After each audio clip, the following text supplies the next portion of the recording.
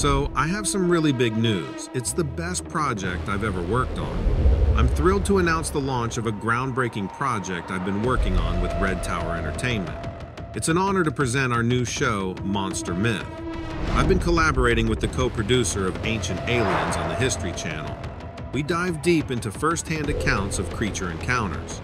Many of our witnesses come forward with tangible evidence of their incredible experiences. To get a glimpse of what's in store, check out the trailer for Monster Myth. Find us on YouTube or simply click the link below.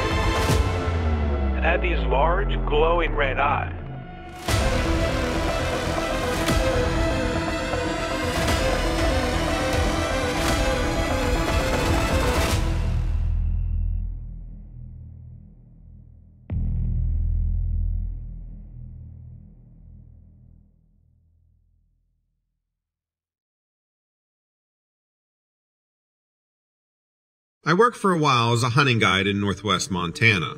It's pretty rough country up there. Easy to get yourself in trouble. I made most of my money doing guided elk hunts on horseback. Weekend warriors will pay a pretty penny to get a Montana elk. Granted, I usually have to babysit them the entire time, but money is money. When I'm not doing hunting trips, I do a little bit of work here and there. I've worked on ranches from time to time, but the fish and game people have had me helping with a wildlife study the last couple of years. The terrain is too tough for the ATVs, so they need horses. I never thought I'd end up working for the government, but I can't complain too much. I get to spend my days tracking in the wilderness, and I don't have to babysit city hunters. I got a call one day at 4 a.m. from the Fish and Game office, asking me to get down there as soon as possible with my horses. They wouldn't say why over the phone, just that there was some sort of emergency. I loaded up three horses into the trailer and headed down the mountain. When I got to the office, there were about a dozen black SUVs in the parking lot with government plates. My first thought was that I was going to jail for tax fraud. I had taken quite a few hunting jobs over the years for cash and thought it was about to catch up with me. One of the men approached me and asked me to come inside. He told me to leave my cell phone in my truck and patted me down. Of course, I had a knife on my belt, but that didn't seem to matter to them. He told me he had heard that I was the best tracker in the area and that I didn't mind working for cash. I guess he could sense my nervousness because he told me to relax, that this had nothing to do with taxes. He said there was an invasive species that escaped and got loose in the area. It had been fatally wounded and the body had to be packed out or else it posed a threat to the native animals. None of that made any sense to me at all, but the man handed me a box with $30,000 cash inside and a satellite phone and asked me if I would take the job. I asked what kind of animal I was looking for, and he just said that I'd know it when I saw it. They said it had been shot about 12 times, but miraculously had enough strength to escape into the forest for a quiet death. They took me to the location of last blood, and that was that. I was on my own. Before they left me, I asked why they hadn't gotten tracking dogs. There was quite a bit of blood on the ground at the site, and a good dog would have an easy time of following it. The man said they already tried dogs. I told him a dog could follow this track easy as day. And he said, It's not that the dogs couldn't do the job, it's that they wouldn't. I started thinking that $30,000 might not even be worth what I was getting into. But I really needed the money, so I set out on my way. The trail was easy enough to follow, but it was in rough country, so it took us the better part of the day to find the beast. I'll save you the details of me bushwhacking my way through the wilderness with three horses. But I started at 7 a.m. and I found the creature somewhere around 7 p.m. This thing was bleeding out all the way and still managed to make it this far through some of the roughest terrain in the country. Whatever it was, it had my respect. I found it lying dead in the woods. It was a big pile of gray fur. I couldn't see its face right away. It had tried to conceal itself in the underbrush, but it was just too large. Animals do that when they know they are dying. They try to hide. I know I'm a hunter, but it always saddens me to see that. I don't like seeing them suffer. If you can't drop an animal in its tracks, don't take the shot. I got my gun out and approached the carcass. It looked dead, but I wasn't certain. I still had no idea what it was. It was bigger than a horse, but it had a long coat. I rolled it over and it was indeed dead. That's when I finally got to examine its face. Invasive species, my ass. It looked like a wolf mixed with a bear. Its head and ears were dog-like, but its snout was shorter and more rounded.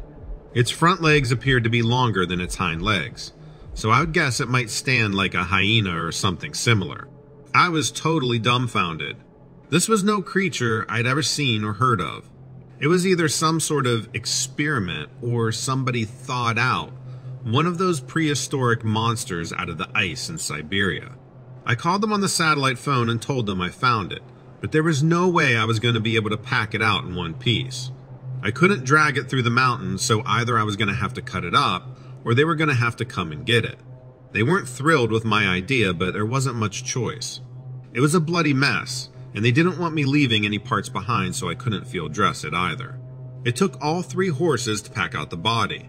The government guys with their black SUVs met me on the edge of the forest. They took the remains and loaded them into a van. I went up to the lead officer that had been talking with me the most and said, I don't suppose I can ask what that thing was, can I? He said no, but he handed me an envelope with some more cash in it. And that was that. They left town just as quickly as they had arrived. I went back to my job with fish and game and nobody ever spoke about it again. I kept a little piece of hide from the creature, but I figure I'd have those black SUVs surrounding my house if I ever tried to DNA test it.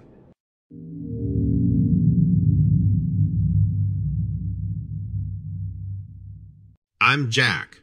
I work as a forest ranger in the outskirts of California, and I'm here to recount something I experienced on the night of June 30, 2021. On that day, I was deep into the woods for a routine survey. My job includes ensuring the trails are clear and safe for hikers. As I moved further, I felt a sudden chill, as if someone had just cranked up the air conditioning. The woods became eerily quiet, even the usually chatty birds seemed to hold their breath. This silence was broken by an intermittent low growl, more like a predator communicating, not entirely normal in these parts of the woods. Suddenly, there it was, standing at a distance in the clearing. It was partially illuminated by my flashlight, a figure about eight feet tall with a massive chest and wide shoulders. The creature was standing upright, resembling a human in its posture but its legs, they were almost canine, as you would find on a dog. My heart pounded in my chest as I took in its features. It had a long snout with a double row of teeth and fangs visible even from my distance. Its ears were pointy, and the face. There was something unsettling, demonic about it, like a hyena, but far more intimidating. Its fur was a dark blend a mix of black, brown, dark brown, and gray all interwoven in a matted mess. The smell that came off the creature was unbearable. It was a potent mixture of wet dog and the stench of garbage. There were other smells too, like urine, rotting meat, blood, and a hint of sulfur. All these, combined with the ominous low growl it was making, sent chills down my spine. I remember stepping back slowly, not wanting to provoke it. My boots crunched lightly on the dried leaves beneath me, the noise loud in the relative silence. The creature's intense gaze followed my movements. There was an intelligence there, a sort of awareness I didn't typically associate with wild animals. A prickle of dread crawled up my spine as our eyes remained locked. Suddenly, it tilted its head to the side in a way that reminded me disconcertingly of a dog's curious gesture. That's when it opened its mouth, showing off its double row of teeth, glistening under the soft moonlight filtering through the dense canopy. It was a menacing display, one that screamed danger. Then it let out a guttural growl, a sound so deep and reverberating that I could feel it in my bones. It was a sound I had never heard before, one that seemed to echo around the quiet forest, bouncing off the trees. The hair on my arm stood on end as I continued to maintain a safe distance, never turning my back on the creature. I couldn't tell if it was threatened by me or simply curious, but it didn't move towards me. Instead, it continued to observe me with an almost casual interest. I could see the muscles under its matted fur ripple with restrained power, the hump on its back becoming more pronounced as it straightened its wide shoulders. After what felt like an eternity, the creature howled. The sound was high and haunting, piercing the quiet night with its eerie resonance. Then, as if satisfied with our encounter, the creature spun on its dog-like legs and disappeared into the undergrowth, leaving me alone in the clearing. I stood there, heart pounding for several moments, replaying the encounter in my mind. The chilling memory of its demonic hyena like face and the nauseating smell it left behind in the clearing. It was a mix of wet dog, garbage, urine, rotting meat, blood, and sulfur. The odors were so pungent that even after the creature was gone, the scent lingered, a stark reminder of what had transpired. That night, I found it hard to shake off the experience.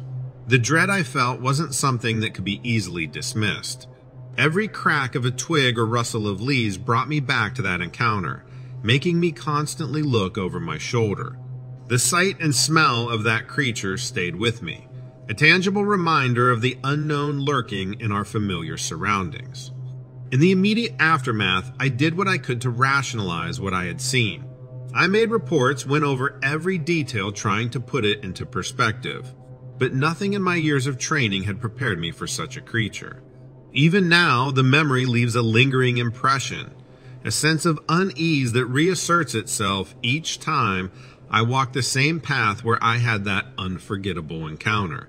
So far, I've kept this all to myself, but writing it down and hoping you'll tell my story has really helped me. Thank you for your time.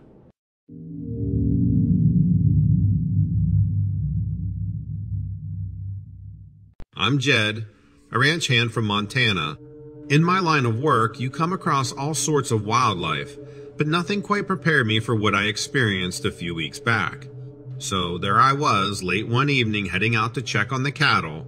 They'd been acting skittish lately, not like their normal selves. That night, the air had peculiar stench. Honestly, it made me gag a bit. As a ranch hand, my daily duties vary widely. Most days, I'm up at the crack of dawn feeding the cattle, mending fences, and maintaining our equipment. I've always enjoyed the rhythm of ranch life, the simplicity of it, and the close relationship I've developed with the land and the animals. Over the years, I've become quite familiar with the local wildlife. I can tell you the distinct howl of a coyote from a mile away or identify a bear's tracks in the mud. I've encountered rattlesnakes, deer, even the occasional bobcat. But nothing in my years on the ranch could have prepared me for what I experienced that night. The odd behavior of the cattle, the strange smell in the air, and those eerie sounds, it was as if the rules of the wilderness I knew so well were being rewritten. Whatever was out there wasn't just unfamiliar, it was totally alien to my years of experience. The discomfort of this fact was unsettling, to say the least. It wasn't just the cows and the smell that were off. I started hearing strange sounds echoing across the fields, a mix of loud yelps and growls that I'd never heard before. I thought it might have been some coyote or a wolf, but the pitch was all wrong. Sure, I've heard coyotes yelp and wolves growl, but this was different. The sounds were low and guttural, almost as if they were echoing from deep within a cavernous chest. The yelps weren't the high pitched calls of a coyote, but more of a howl, modulating between pitches in a way that made the hair on the back of my neck stand up. As for the growls, they weren't the warning snarls you'd hear from a bear or a mountain lion. These were more resonant, echoing across the plains with depth and intensity that left me feeling chilled to the bone. The sounds had a whooping quality too, almost like a primate call, but distorted and much, much louder. It was as if nature herself had struck a discordant note, one that left me deeply unsettled. Anyway, I kept on with my rounds, but strange occurrences didn't stop. Then suddenly, I saw it, standing just beyond the tree line. This thing was massive, easily nine feet tall, with large shoulders and a huge chest. It had beady black eyes that seemed to glint in the moonlight, and it had this cone shaped head atop a body with no apparent neck. The moment I saw it, I noticed its movements were not what you'd expect from a typical wildlife encounter. Most animals, upon seeing a human, would either attack if they felt threatened or bolt in the other direction. But this creature, it just stood there calmly, almost as if it was studying me. Its movements were surprisingly fluid. It swayed slightly, in a sort of rhythm, shifting its massive weight from one foot to another. Its beady black eyes never left me, watching my every move. I couldn't tell whether it was curious, cautious, or sizing me up. But one thing was clear it wasn't afraid of me, not in the least. I was in its territory and it knew it. The creature's stoic demeanor and unsettling gaze, those were the things that truly left me speechless. It was a silent standoff, one that the creature seemed to be in full control of, its calmness in stark contrast to the turmoil I felt inside. I'm not gonna lie, Donovan, I froze. I've never been one to scare easy, but seeing something like that, something so unexplainable, it scared me. As I stood there locked in that eerie standoff, my emotions ran wild. The initial shock of encountering this massive, unknown creature was overwhelming. I felt my heart pounding in my chest like a drum, and a cold wave of realization washed over me. I was in a situation I had no control over. But after a few moments, the shock started to fade, replaced by a strange mix of fear and fascination. Despite every instinct telling me to run, I found myself rooted to the spot. I was captivated by this creature that seemed like something out of a fairy tale. I didn't stick around to see what would happen next. I hightailed it out of there and didn't stop until I reached the safety of my house. In the days following the encounter, I noticed a distinct change in the cattle. They were much more agitated, often huddling together and showing signs of distress. Several nights, I could hear them lowing in the field, their sounds echoing a sense of unease that resonated with my own. As for me, I was more on edge too. I found myself checking the fields more frequently, especially at dusk and dawn. I installed some additional floodlights around the barn and kept a closer eye on the perimeter fences. The tranquility that I once felt working, the land was replaced with a heightened sense of alertness, a change that has stuck with me. I also reached out to a local wildlife expert, sharing my experience in the hope of identifying the creature. He was as baffled as I was, though he suggested it might be an unusually large bear or a misidentified moose. But the description didn't match, and we both knew it. To this day, there's a part of me that constantly wonders about that night. I find myself looking over my shoulder more often, alert to the sounds of the wilderness.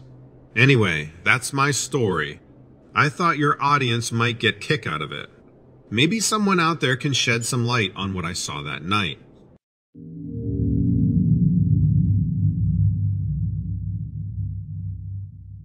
When I was 17, my high school sponsored an end of year trip to New York City. We had spent the day sightseeing. After going all around the city just doing the usual stuff, we were finally driving back to our hotel. I was listening to music on my headphones. I didn't really feel like socializing much with anybody. To be honest, I was in kind of an irritable mood in general back then. Also, my class had gotten mixed up with some other people I didn't really know, and my classmates were all on the lower deck of the bus. I was stuck sitting next to some loud, obnoxious kid. He kept fidgeting around and yelling to his buddies across the bus. Anyway, I'm sitting there listening to my music, trying to tune out all the irritating people. I was looking out the window as we were driving through what I would describe as a semi industrial part of town. Just a lot of plain buildings, warehouses, and stuff. I think the school got a deal on a cheap, out of the way hotel. We were almost back, and I was making sure I had everything. The kid next to me elbowed me accidentally, and I turned toward him to tell him to watch out. And then, as soon as I turned my face back to the window, I saw something move in my peripheral vision. It was something black and shadowy. We were in front of the hotel now, but we were stopped at a red light. We still had to go around the corner to the parking area. At that same moment, this feeling of complete coldness enveloped my whole body. I got this deep, panicky feeling, and I looked straight in front of me, not wanting to look back out through the window. It's hard to explain how it made me feel. I've never had that kind of feeling of desolation for seemingly no reason. I felt scared, but also part of me thought I was being really silly. It sounds ridiculous, but it really took a lot of strength for me to gather enough courage to look outside the window again. I forced myself, and of course, I saw the usual scene. But then something moved in my periphery again. The hotel had this high wall in front of it, like maybe 12 feet high. Something was moving on top of it. And at that point, I think my mouth literally dropped open while I stared. It wasn't just a glimpse this time. I was staring at it for however long it took for the light to turn green and the bus to start driving again. Like I said, it was this very dense, moving darkness. A real shadowy, subtle movement that you wouldn't realize was there unless you caught the movement at just the right time. I want to describe it as something like the way the flames of a fire move, with the fumes and the flame and the smoke, but it was absolutely black. It was getting dark outside, but I was still able to discern all its body parts and movements. It was walking on the wall of the building. It was on all fours and the back legs were bent backward. It walked along the wall across the side of the building. At that point, it turned its head straight toward me. It had a demonic face with red eyes, and it had horns. I literally had to rip my eyes away from looking at it and force myself to stare ahead of me. I was a mess. I was shaking and felt like I was going to have a heart attack, and I was freezing cold all over. That feeling of dread was something completely unfamiliar to me. It was unimaginable.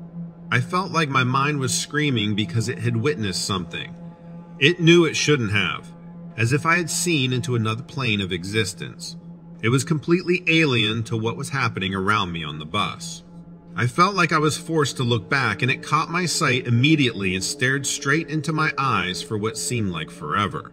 Then it jumped up to the first level of the roof, and the bus started driving away. It's so hard to convey this, but the experience had seemed to go on and on forever even though it had to have been only 30 seconds or so. I started coming back to my senses and gradually tuned back in to all the noise and laughing around me. Not one person had sensed anything wrong. But then the kid next to me looked over and I must have looked deranged. He asked me if anything was wrong and if I needed the teacher. All I could do was mutter that I was fine. I mean, can you imagine trying to describe what I had just gone through? I really did not want to go in the hotel knowing that thing was present somewhere. I couldn't sleep that night and I had a terrible headache for the rest of the trip. I was a mess and couldn't wait to go home. Since then, I've had this phobia about noticing things in my peripheral vision, like something is going to creep out from some hellish alternate world. I understand it seems crazy and unbelievable, and I haven't felt comfortable talking about it until I listened to some of the stuff on your channel. I've wanted to tell one of my friends, but I feel like they would just shrug me off. And I don't want it to isolate me from people. It had such an unsettling effect on me that I actually started wanting to be around people a lot more than I ever used to. Anyway, thanks for letting me share it here.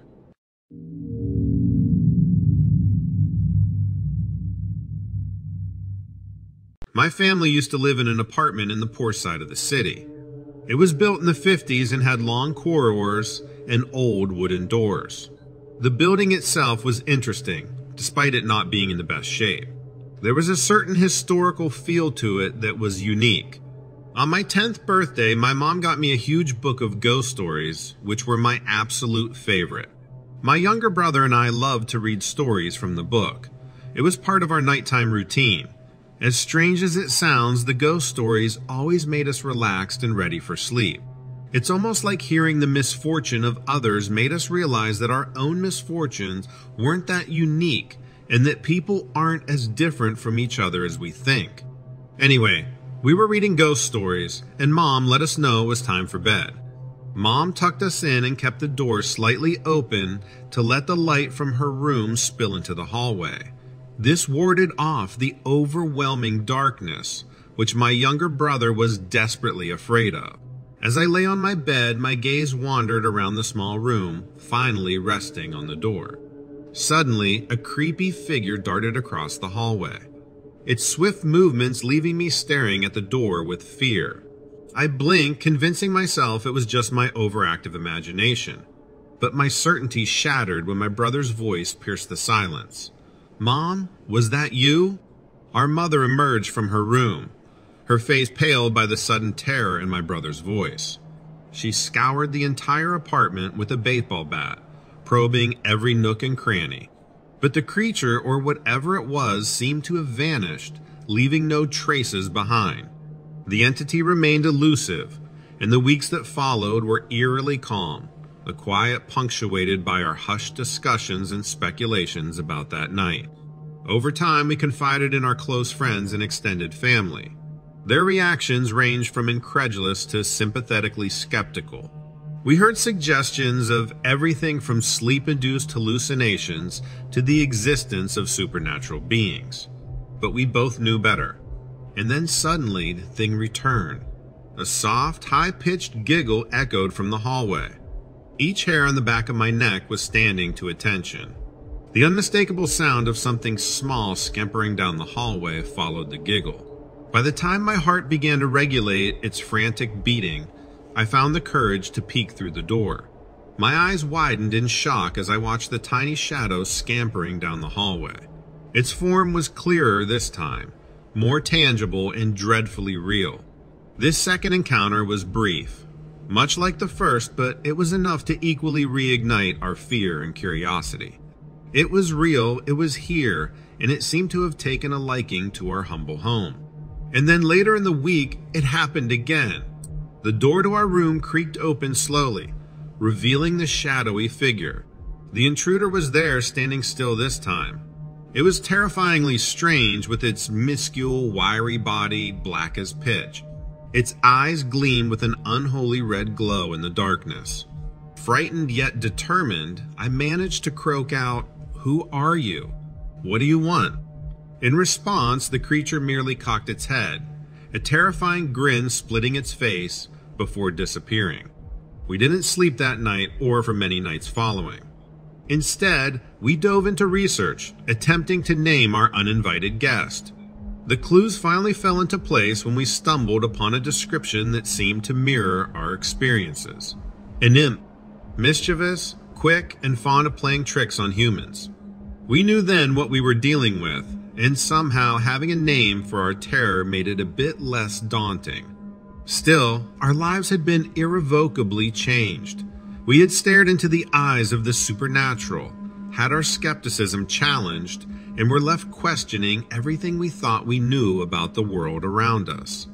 A paranormal encounter that started with a love for ghost stories had turned our lives into an actual ghost story. A tale we would live to tell, but wish we had never experienced. The imp's visitations ceased as abruptly as they began. The apartment returned to its old rhythm. The long corridors were just normal corridors again. The wooden doors no longer hid any unworldly secrets. The unnerving silence of the nights was replaced by the familiar city noises we had grown accustomed to. The world had seemingly righted itself. Yet we knew it was different. We were now different. We were no longer just the two kids living in the old apartment building on the poor side of the city relishing in ghost stories. We were the two kids who had lived a ghost story. Sleep, which had once been elusive, returned, but it was no longer the carefree slumber of our innocent days. It was the weary sleep of those who had seen things they could not unsee. But with time, even those anxieties began to fade. As years passed, we grew older and our lives branched out in unexpected ways. My brother found solace in science and the logical world where everything had an explanation, a purpose. I found comfort in history and literature, where the inexplicable was accepted and even celebrated. But our diverging paths always met at one intersection. The experiences of our childhood shaped us and molded our worldview. While my brother took the rationale scientific route, my journey led me down the path of exploration. I was determined to understand and unearth the truths of the world that were considered unworldly. Every creak of an old floorboard, every sudden rush of cold air, every strange shadow in the corner of my eye became a possible connection to the world that had briefly opened itself up to us as kids. And even though that little creature never visited again, its memory was a constant companion. Our humble house in the city's poor side was a distant memory, but its influence was always there. We became adults living with one foot in the seen world and one in the unseen, our minds now open to the unbelievable truths of our extraordinary world.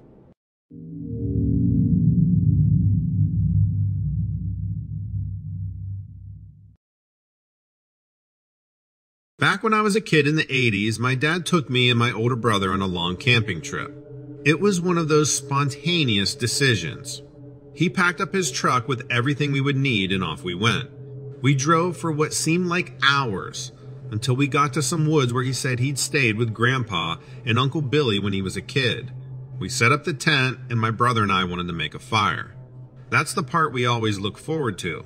And anyway, the sun would be setting soon and we were getting pretty hungry. My brother and I kept talking about how much we wanted hot dogs the whole time. So my brother and I headed into the trees to grab some kindling before it got too dark. We must have gone further than we had intended. As you know, you see one tree, you've seen them all, which can be confusing. That's kind of just how the woods are to an unexperienced woodsman. And we were just kids, so we didn't really know any better.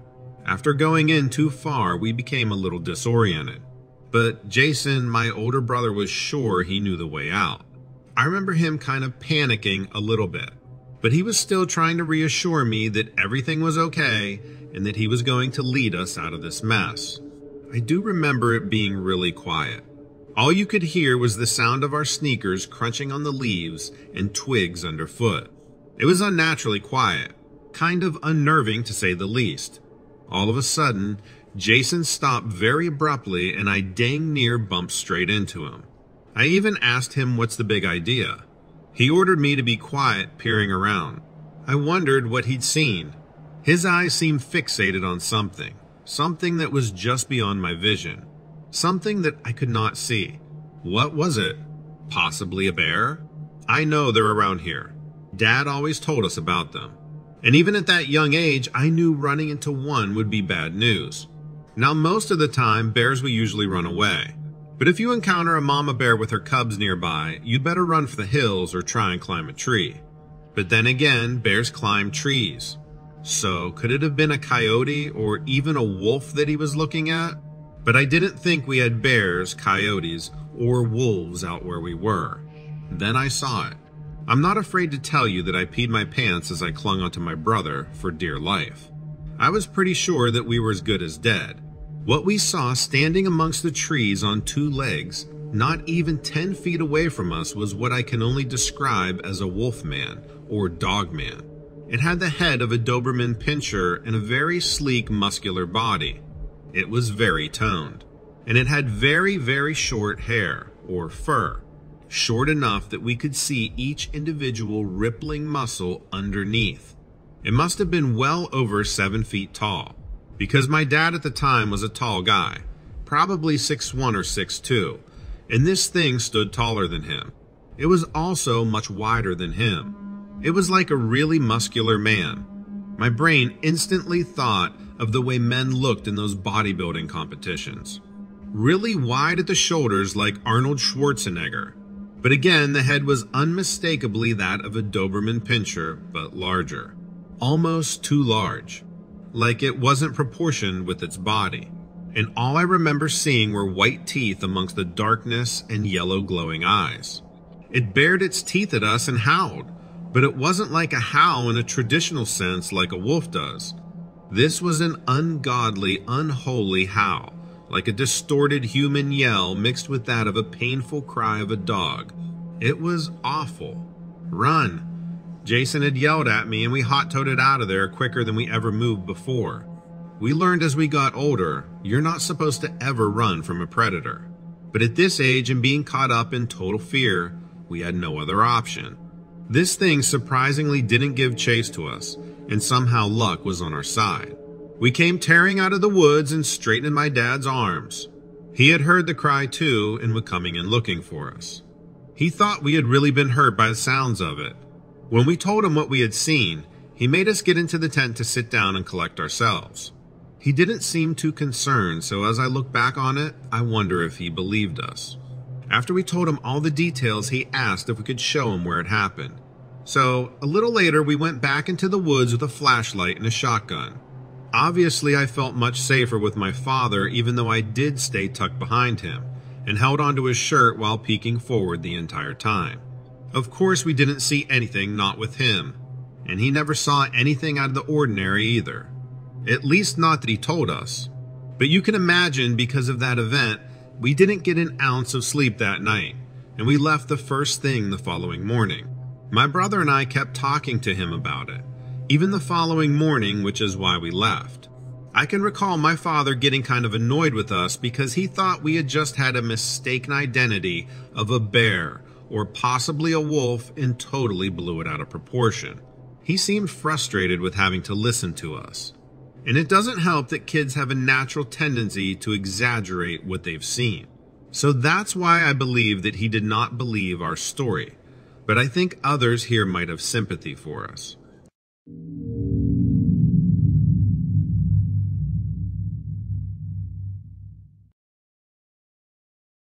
I understand that it's going to be especially hard to believe my story. I don't have the credentials to prove that I'm a reliable source, and I don't have any proof of what I've seen. I'm not a secret agent or a member of the military. I'm a contractor. I receive a plan for the development of a structure, and I execute that plan. I've been doing it long enough that I'm now a member of a small group who receives exclusive contracts from the United States government. Recently, some of the work commissioned from us by the government has been released to the public. If it wasn't for the accessibility of these documents, I wouldn't be talking. Before this, it was classified. But now, anybody can know this story. The exposure of my identity isn't at the same level of risk it once was. We were hired nearly a decade ago to build a rotunda on a United States military base in South Korea.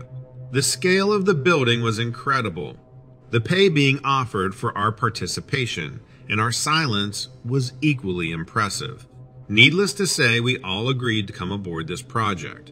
We hadn't been tempted to violate any privacy agreements in the past. We didn't care about the things we'd see or the purpose of the buildings we were constructing. In our minds, being silent was just typical military protocol. We figured they were just building structures to store weapons, structures to protect our country's assets, but we soon found out that this one was different.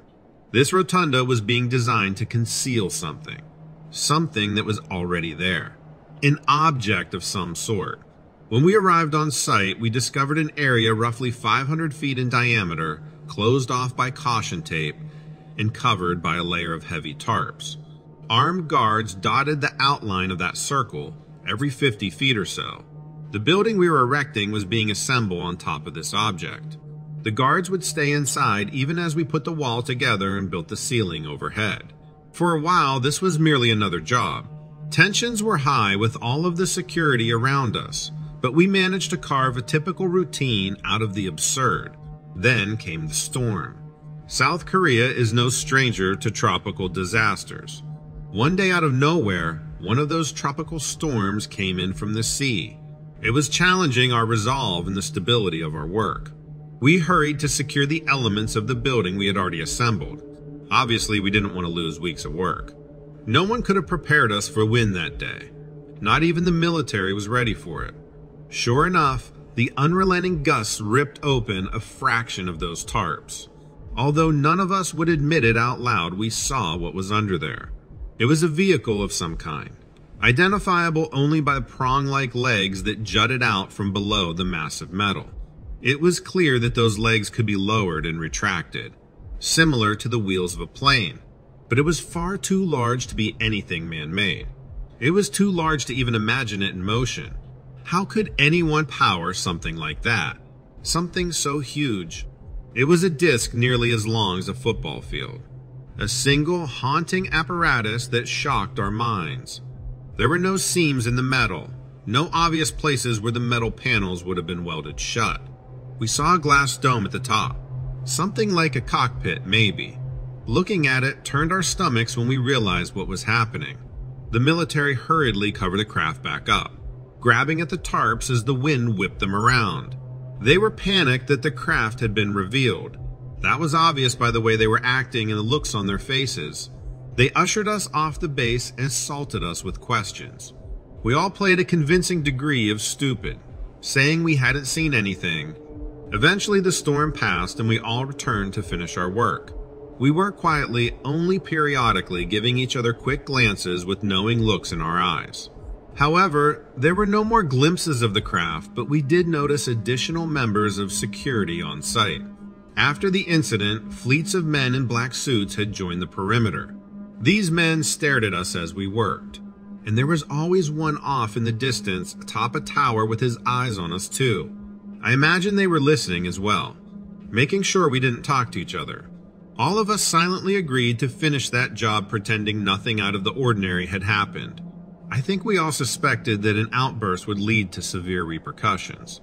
To be honest, I wasn't sure if we'd be allowed out of South Korea with our lives intact. But eventually the job ended and we were sent home. All of us were welcomed by the ambient static of wiretaps in our phones and by idling vehicles on our streets. Our job ended, but theirs had just begun. They had to watch us to make sure, I guess. They had to be positive that we weren't going to expose them before they were ready to spin the truth to their benefit. And recently, that's what's happening. The information is flying under the radar, but among declassified documents are claims that the military has been performing duties like this in order to keep people safe. But they're leaving something out of those reports. They're excluding the details of that cockpit, of what we saw that made us all feel sick. Under the tarps, inside the craft, something was alive. Something turned its head on the other side of the glass and looked out at us. Its face was warped into some nightmarish scream. Its jaw was extended and its eyes were the size of oranges. It looked like it was screaming, muted by the glass and the tarps and the wind.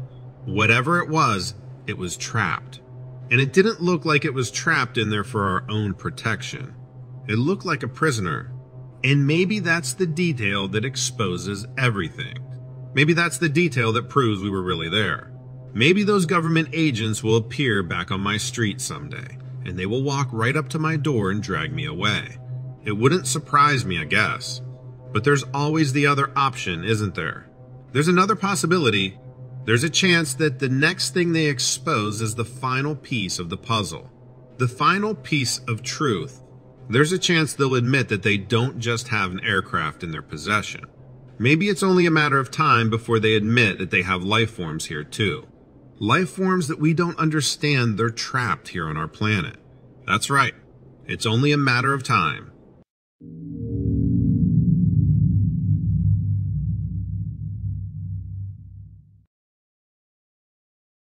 My name is James, and I work as a game warden for the Fish and Wildlife Service in Oregon. I've spent over a decade immersed in the wilderness, but an incident a few weeks ago was absolutely unique in my career. During a standard patrol, I found myself deep in a secluded section of the forest that's usually void of human activity. I often relished its peaceful isolation, but that day, the atmosphere felt different. My role as a game warden entails lengthy periods in the wilderness, monitoring wildlife behavior, checking for poacher activity, and ensuring visitor safety. It's a demanding yet fulfilling job where no two days are the same, and because of this, I knew something was off. That's why the day of the incident was so disconcerting. The usual serene quiet of the forest was replaced by an almost tangible tension. The smell of decay was out of place in the fresh woodland air. The usual tranquility was replaced with an ominous dread. As I delved deeper into the woods, an unusual smell became apparent. It was the scent of decay, so strong that it left a bitter taste in my mouth. I've encountered the smell of deceased animals before, but this was different, more powerful, and unnerving. Alongside this, I spotted broken branches and disturbed soil, suggesting something large had passed through. With each step, the dread increased. I felt a warning in my gut, telling me something was awry. It was an odd sensation, a mixture of anticipation and fear unlike anything I'd experienced in my years of patrolling these woods. Then, in a clearing, I saw it a towering creature, roughly nine feet tall. My mind grappled with the sight, trying to reconcile what I was seeing with my understanding of the natural world. The creature towered above me, looming in a manner that was both awe inspiring and intimidating. It was an uncanny combination of familiar elements and grotesque distortions that challenged my reality. The creature's skeletal body, framed by the stark outline of a deer skull, was just like what you'd expect in a horror story. My heart throbbed heavily in my chest, and its beats echoed loudly in my ears. It was a rhythm that was a grim reminder of the perilous situation I was in. I felt a sharp, icy jolt of adrenaline surge through my veins, awakening every cell in my body. A survival instinct triggered by the undeniable presence of danger. Despite the years of training I had under my belt, nothing had prepared me for an encounter like this. My body seemed to move independently of my will, rendering me immobile. I was anchored to the spot, like a sailor caught in the gaze of a siren, incapable of doing anything other than observe the chilling sight before me. The creature's skull held an unusual feature. It held two red glowing lights. They burned in the empty eye sockets. These luminescent orbs created an eerie and unnatural spectacle as they cut through the dim forest light. They seemed to pulse with an uncanny life of their own. This was a sight as captivating as it was terrifying. It held me in its thrall. The light seemed to hum with an otherworldly energy. The next few moments stretched out, each second feeling like a tiny eternity as I remained rooted in place. Time seemed to lose its meaning, warping and twisting around me as I stood transfixed by the creature. Fear held me and kept my gaze locked on the creature. It was a silent fear, the kind that resonates deep in your bones and paralyzes your thoughts, reducing the world to just you and the object in front of you. Overwhelmed by the sight of this monstrous creature and the smell of decay, I couldn't think. I was left standing there, my mind racing to understand what I had seen. Part of me, the biologist part, was fascinated and wanted to observe and understand. But another part of me, the instinctive part that values survival, was shouting for me to get away. I was torn between professional curiosity and the basic instinct to escape with my life. I considered capturing the creature on camera, but my hands wouldn't cooperate. Deciding it was best to remain still, and I watched as the creature eventually moved away. Seeing my chance, I quietly retreated keeping my gaze on the spot where the creature had vanished until I was safely away. What followed was a blur. I reported the incident to my superiors, who dismissed it as a misidentified animal protecting its kill. The smell of decay lingered for days, and those glowing eyes haunted my nightmares. In the days that followed, I wrestled with the experience. The memory of the creature was burned into my mind, reappearing in my dreams and turning them into nightmares. The smell of decay, now linked with the creature, seemed to follow me. I could literally smell it everywhere. At work, my colleagues were skeptical, dismissing my story. Some even suggested it might have been a prank. Their doubt was disheartening. Despite this, I continued my work, but now with a heightened sense of awareness. I couldn't ignore what I had seen. The encounter made me question a lot, but also changed me. I've come to accept that there are things that cannot be explained with science, and that's all right. It's part of what makes the wilderness so intriguing. Let me know your thoughts, Donovan. Thanks for your time.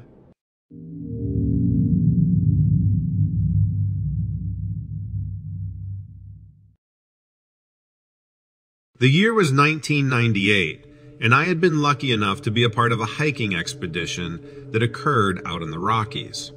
I was thrilled to have been invited because I wasn't as seasoned as the rest of the group.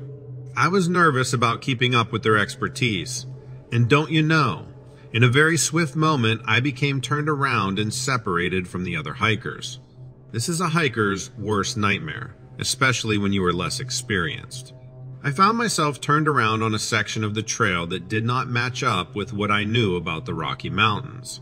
The ground turned coarse and full of rubble. Plants seemed practically non existent, and a thick mist was rising, cutting me off from getting my bearings. Worse yet, I couldn't hear the group at all.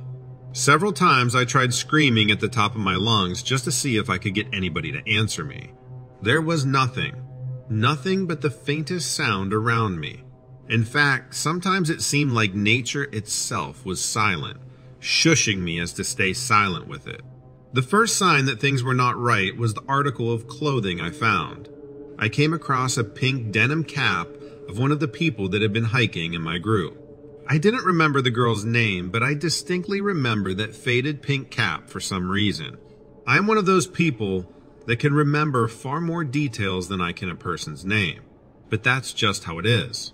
I picked that up with the intention of eventually returning it to her. I even dared to take the sight of the hat as a sign of hope. Perhaps I was near them after all. But how could she have dropped the hat and not realized? Things didn't really make sense at this point. The hope was short lived when I came across and recognized a backpack that had also belonged to someone in my group, but I couldn't place exactly who. I just knew I had seen it on someone. I continued through the thickening fog for hours with the distinct feeling that I was just going in circles. I thought about how my rations and supplies were very limited. If this continued, I would eventually have no choice but to perish out here all alone. Yes, I was already thinking about doom at this point. I came across another possession, one of my fellow hikers. This time, there was a new level of bad news. It was a bandana that I remember seeing on one of the guys the guy with spiked hair. It was stained with something dark and red, and I knew exactly what it was. I just didn't want to admit it. I couldn't fathom my brain going there. It was at that point that I began to feel panic, stalking me from a distance. My first thought was that robbers had came upon my group. Or maybe robbers isn't the correct word to use. Maybe modern day bandits. I don't know. But either way, something had clearly happened to the group. I hadn't heard any noises that would suggest a big bear or big cat attack. No screaming, no crying, nothing. I even looked in the dirt trying to find tracks or any sign of activity. There didn't seem to be any signs of a struggle. It's as if their clothing had just fallen off. So I quickened my pace with my visibility reducing by the minute, and the things I could see were things that I didn't want to. I came across a pair of shattered glasses that were all too similar to the pair worn by the Asian girl in my group. Then there was a torn sports bra that also looked to be bloodstained. One article after another that I could recognize as being from my group emerged out of the fog as I pressed onward, and my own sanity was beginning to teeter. So I broke into a light jog even though the ground and the visibility was treacherous. The path began to descend with the unusual rocky ground rising on either side of me. Then, just like that, the trail went into a small cave. Small enough that if I wanted to get inside, I would have had to stoop down. Something inside my body wanted me to turn and run, but my conscience and need to find the group overrode my primal caution. I wondered if they could be inside, so I struck up my lighter and reached into the cave. What came next? I remember only in particles because in my mind, evidently, was closer to breaking than I'd realized at the time. The halo of the flame showed nothing but rock at first, but then a pair of eyes turned to me from somewhere, at the edge of the light's influence, and then another pair, and then more. Then the light showed me towering, furry bodies that were hunched in their stature, as if they were all used to a life of crouching and hiding. I hate to tell you this part, because it's going to sound like I'm crazy, but I can only tell you exactly what they resembled. And what they resembled were werewolves. That's the worst word to use with the complete overexposure of it. But honestly, there's no other word to describe what animal I saw. Their teeth extended well past their lips, and I can tell you they had long ears that looked like horns almost. Their mouths were busy chewing and gnashing something. I could hear the sounds of ripping and tearing. It was meat. They were eating on something. I didn't see. I immediately worked my way out, and they didn't give chase. I'll never know why. Maybe there's a reason they didn't want me. I'll never know. After climbing my way out, I luckily eventually found a trail, even though I was completely and utterly traumatized. I ended up contacting authorities, and they did a very thorough investigation. They also made a search of the area but uncovered nothing, which was both surprising and unsurprising at the same time. I told them all about the bloody clothes and all the belongings I had found, and told them that I think that we were attacked by large unknown predators. They didn't really seem to take my story seriously. In fact, I was even a suspect for a while in the disappearances. But nothing they found was conclusive. I even told them there was a cave where I had seen horrible beasts. I understand this story is sounding more and more crazy as I go on, but this is my experience that I have to live with. It will be with me forever, for the rest of my life. I don't get to just shut it off. And add to that, I have the trauma of dealing with being a potential suspect. Of course, that didn't result in anything, because like I said, they couldn't find anything conclusive that led to me. Anyway, this was over 20 years ago, and none of them have ever been found. And I still live with the agonizing pain of it all. I've only told a handful of people over the years in hopes that somebody can give me reassurance that things will be okay and that I'll be able to get through everything. But who knows? I can only hope.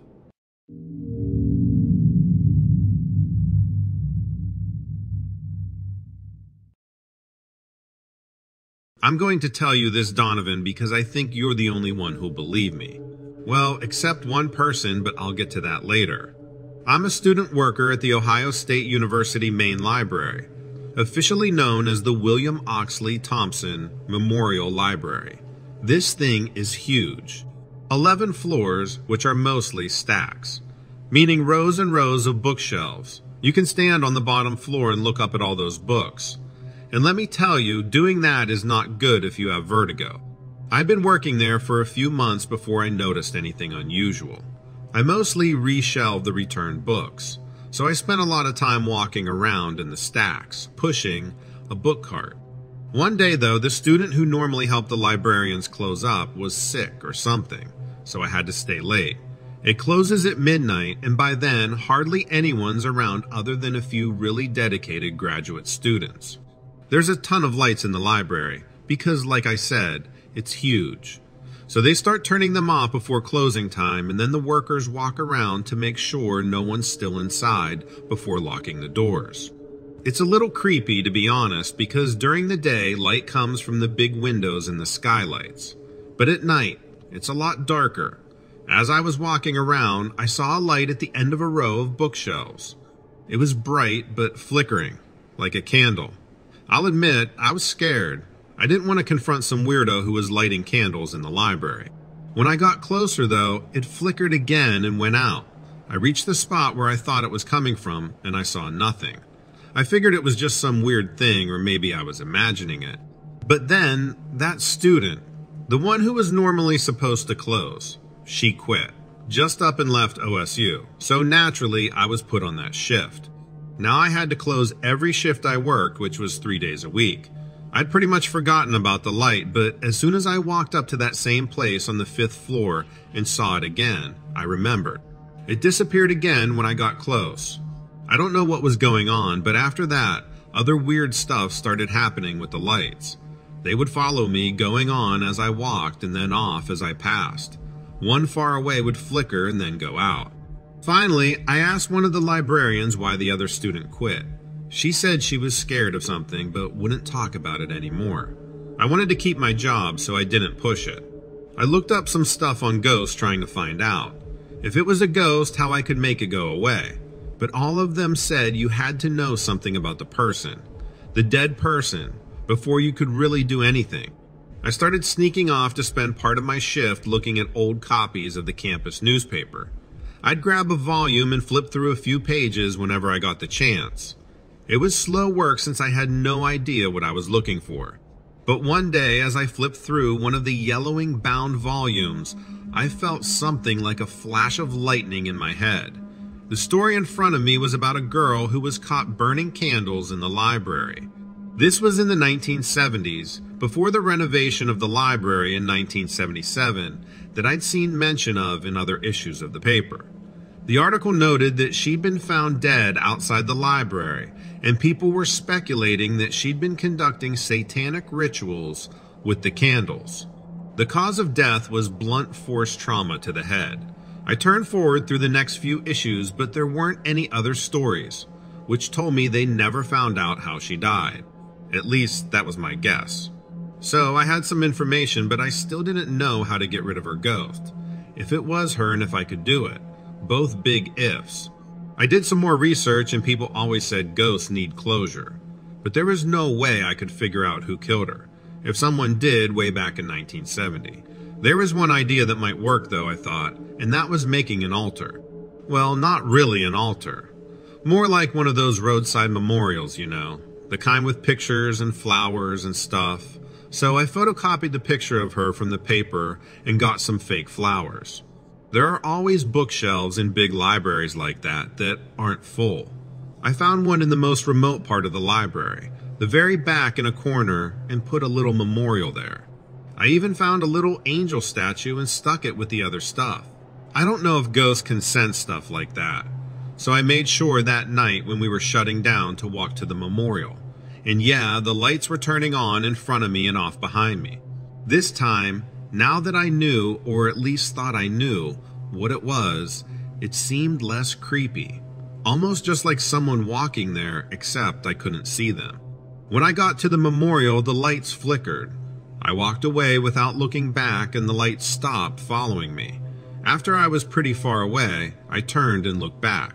I saw that bright candle-like light seeming to hover near that shelf where the memorial was. The next night, I walked around and didn't see any weird stuff with the lights at all. It was strange, almost sad, like I almost missed it. When I went to where the memorial was, it was gone. Maybe the janitor picked it up or maybe something else happened to it. I don't know but I never saw that flickering light again.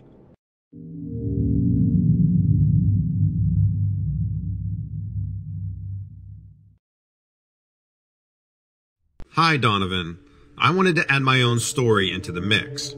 In the last few years, it's becoming more acceptable to talk about UFOs and the possibility of life on other planets. And I thought my story would be a perfect fit. It actually starts at Christmas, although the event itself took place in August. My husband and I love getting out in nature, and my parents are aware of that. He's not great at giving gifts, but last Christmas he hit the nail on the head. He bought us two tickets to a remote astronomy show up in New Hampshire. We share a house in New Hampshire with my husband's family, so this couldn't have been more perfect. After doing the math, we figured out that the show itself was about a 45 minute drive from the house, so we decided to make it a long weekend.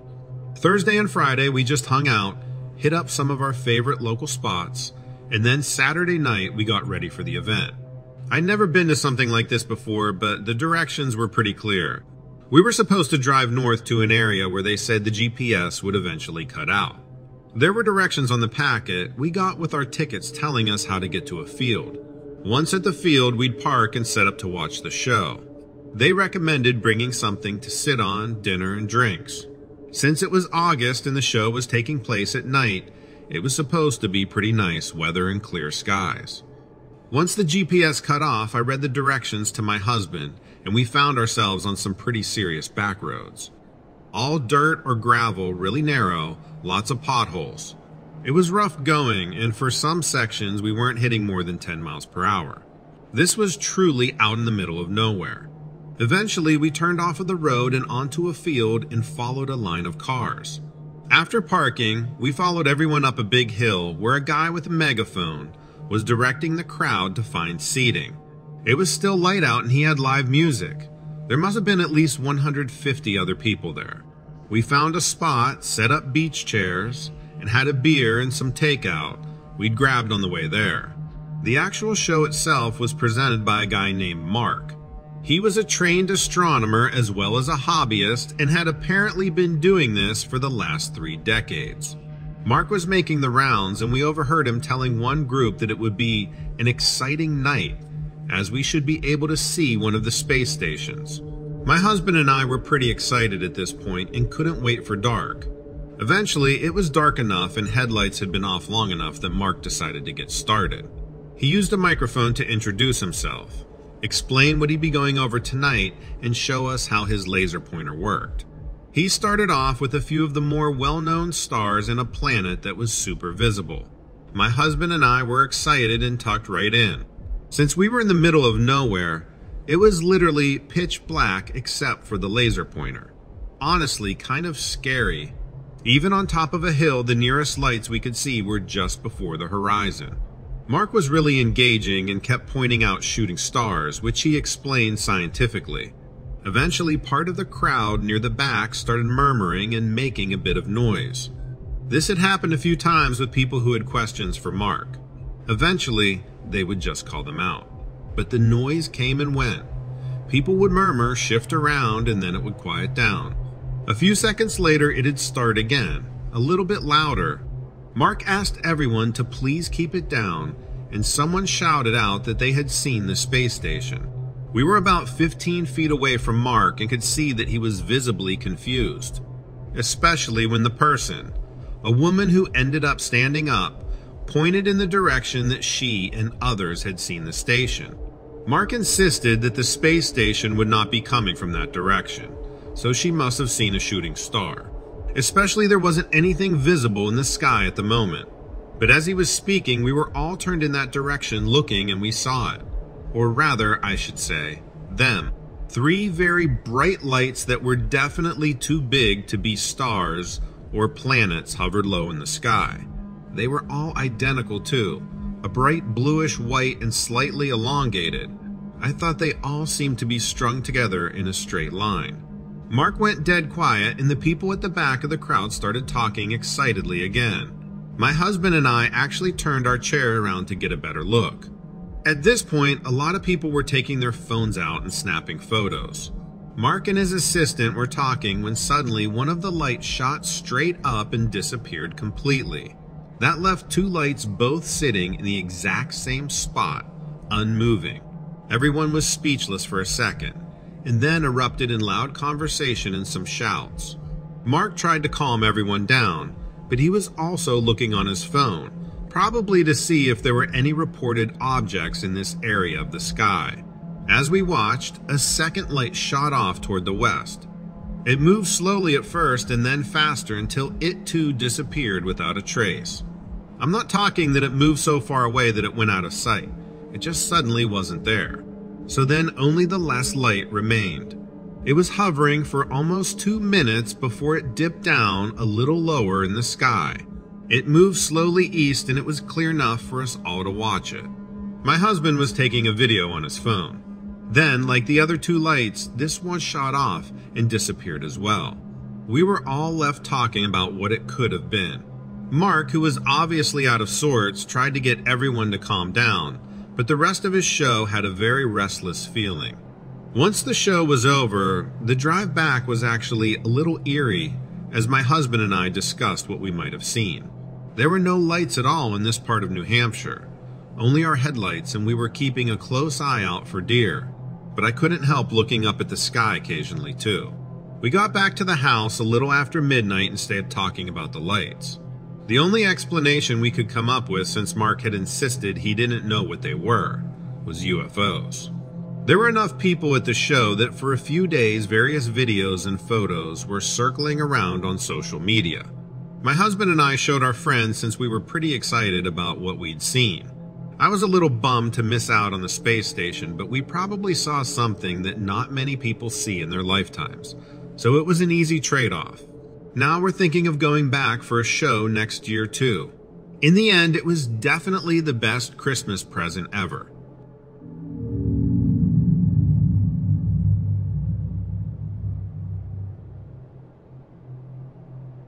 Hey, Donovan.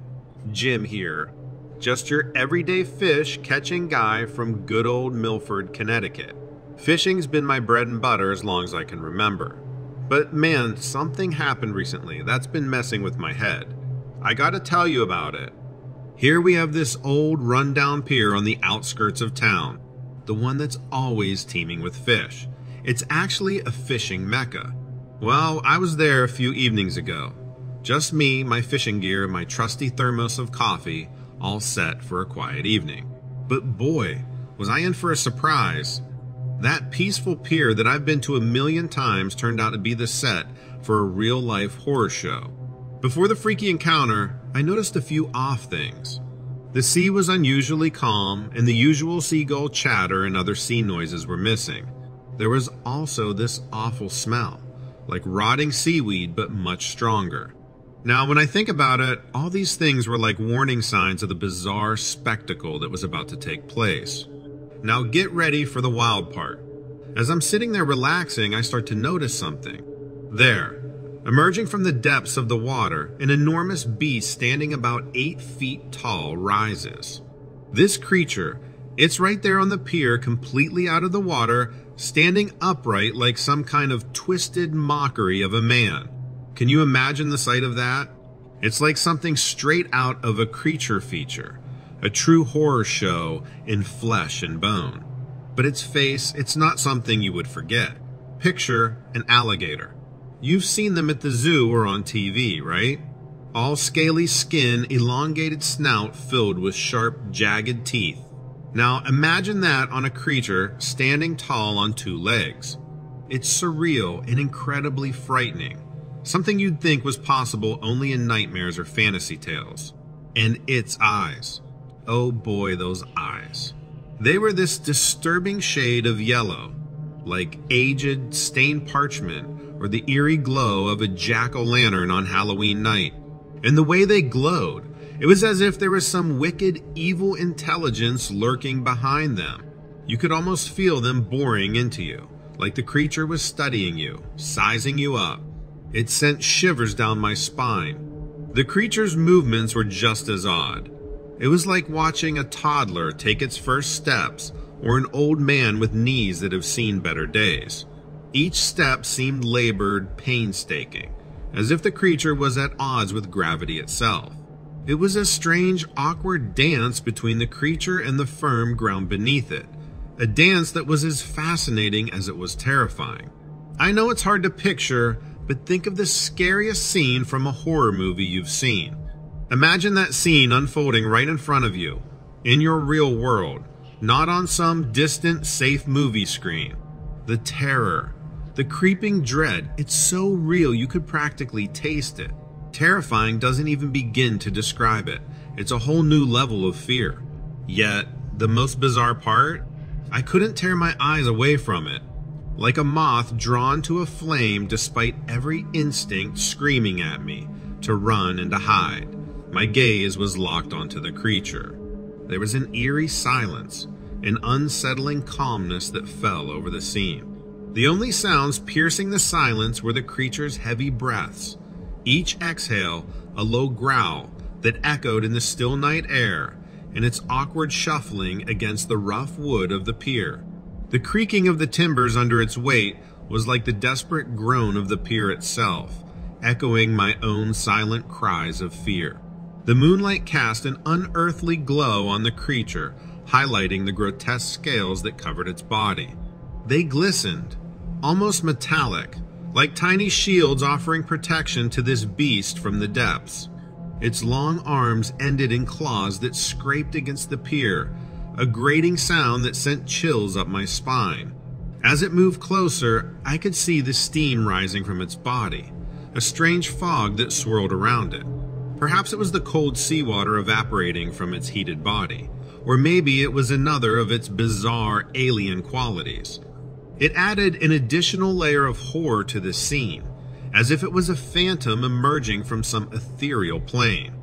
It was like I was hypnotized by the terrible spectacle before me, held captive by my own fear and fascination. As the creature continued its laborious, painful walk on the pier, I felt a shudder run through me. Eventually, my mind clicked in and I was out of there as soon as I could move, questioning whether I'd lost my mind. Even now, the image of that creature and its menacing yellow eyes haunts me. It's made the thought of going back to the sea really tough. Sure, the encounter was brief, but its a effects, man, they've stuck around. It's gotten to the point where I'm too scared to return to my favorite fishing spot. I was shaking as I started my truck and drove away from the pier that day, my heart pounding in my chest. That monstrous figure still lurks in my mind, making my days gloomy and my dreams nightmarish. Even the sea, which used to feel like home, now seems like a place of terror. Every unexpected wave or sound has me on edge. I can't shake this feeling of dread, this constant reminder of the horror hidden beneath the sea's calm surface. Anyway, that's what's been going on with me, Donovan.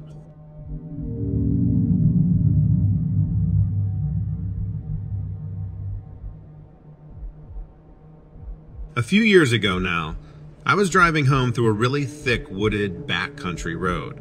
I was heading to the old farmhouse that my parents had lived in forever. It was fall, but not too late in the evening. The sun was still in the sky, although getting close to setting. If I think about it, I remember it was around September or October. I want to say the sun set somewhere between 7 and 8 that night. I can't be exactly sure, but it was probably sometime around there. I had the radio cranked so I couldn't hear much, but it wasn't like I was on the highway. Chances were I wouldn't encounter another vehicle until I pulled up to the house. That's just how remote and isolated my parents were, and they preferred it that way. They enjoyed the absolute solitude and silence of not having any neighbors nearby. In this day and age, I can't really blame them. I did, however, have my wits about me and my eyes on the road. No distractions for me. That is because, firstly, I'm not a moron and also a buddy of mine had wiped out and hit a buck a few months back.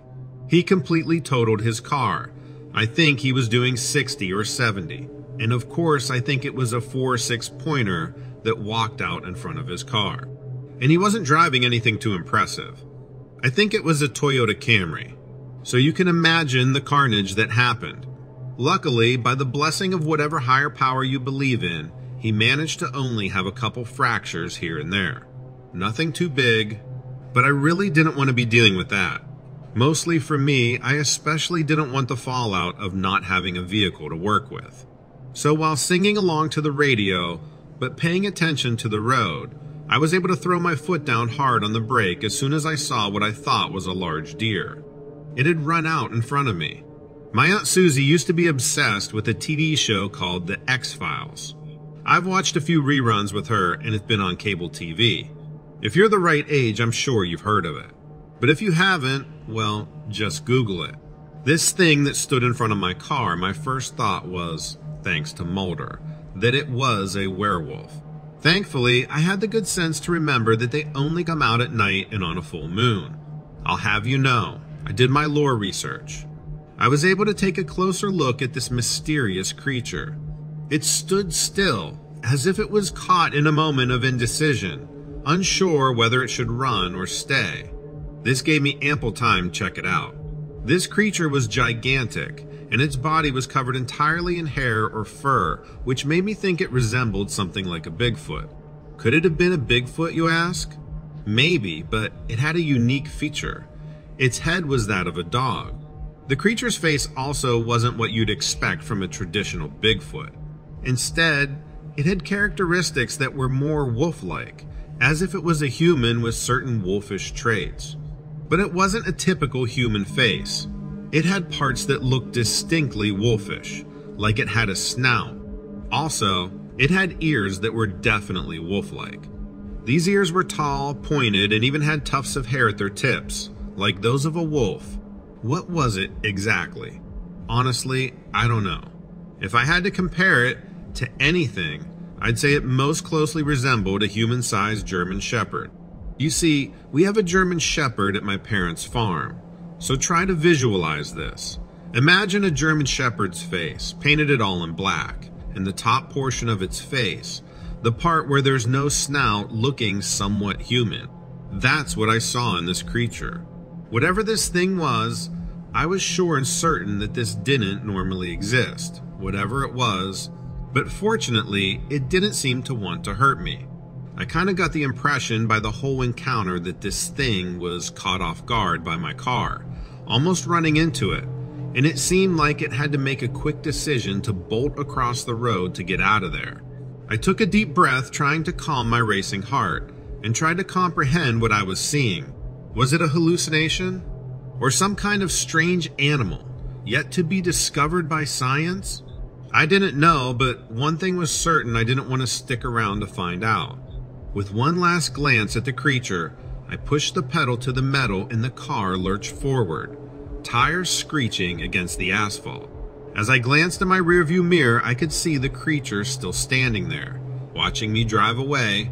Its yellow eyes were almost glowing in the dark, reflecting the last bit of light from my taillights.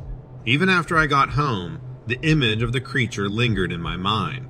Sleep didn't come easily that night, and when it did, my dreams were filled with images of that creature. I knew I had to find out what it was, or at least try. I decided to research cryptids and unexplained creatures to see if I could find any information about what I had seen. But no matter how much I searched, I couldn't find any creature that resembled what I saw that night. Even to this day, the memory of that night still haunts me. It's become a story I tell around the campfire, a tale of a mysterious creature in the night. What it was, I might never know, but one thing's for sure it was an experience I'll never forget.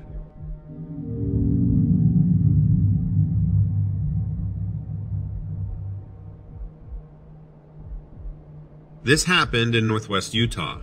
I was sent out by dispatch to investigate an incident with a wild animal at an old farmhouse. Not really my area, but we didn't have a local animal control in the county, so the job fell to me. The call came in the night before, but since it wasn't technically an emergency and no one was in danger, the station waited until the morning to send someone out. I reached the farmhouse at about 8:15 a.m.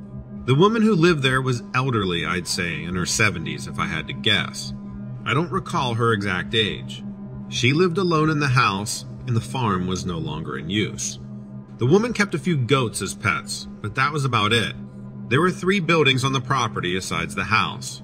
A large barn that sat directly opposite the house, a smaller barn next to it, and a small storage area that was situated perpendicular to the smaller barn. The goats were kept in the smaller barn. The other buildings were used for storage.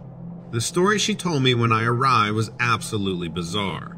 She said the incident happened at around 9 or 10 p.m. the night before, but she had been having problems before that for quite a while. She claimed her goats had been disappearing out of the pen at night. She couldn't figure it out. She had installed chicken wire on the inside of the fence to prevent any animals from getting under the boards. But the goats kept disappearing. It wouldn't be often. Maybe a couple of goats would go missing every month, there was no pattern to it and no signs of animals breaking in through the fence. She figured someone must have been stealing them, so she started putting them all inside the barn at night and locking the doors with chains and a padlock.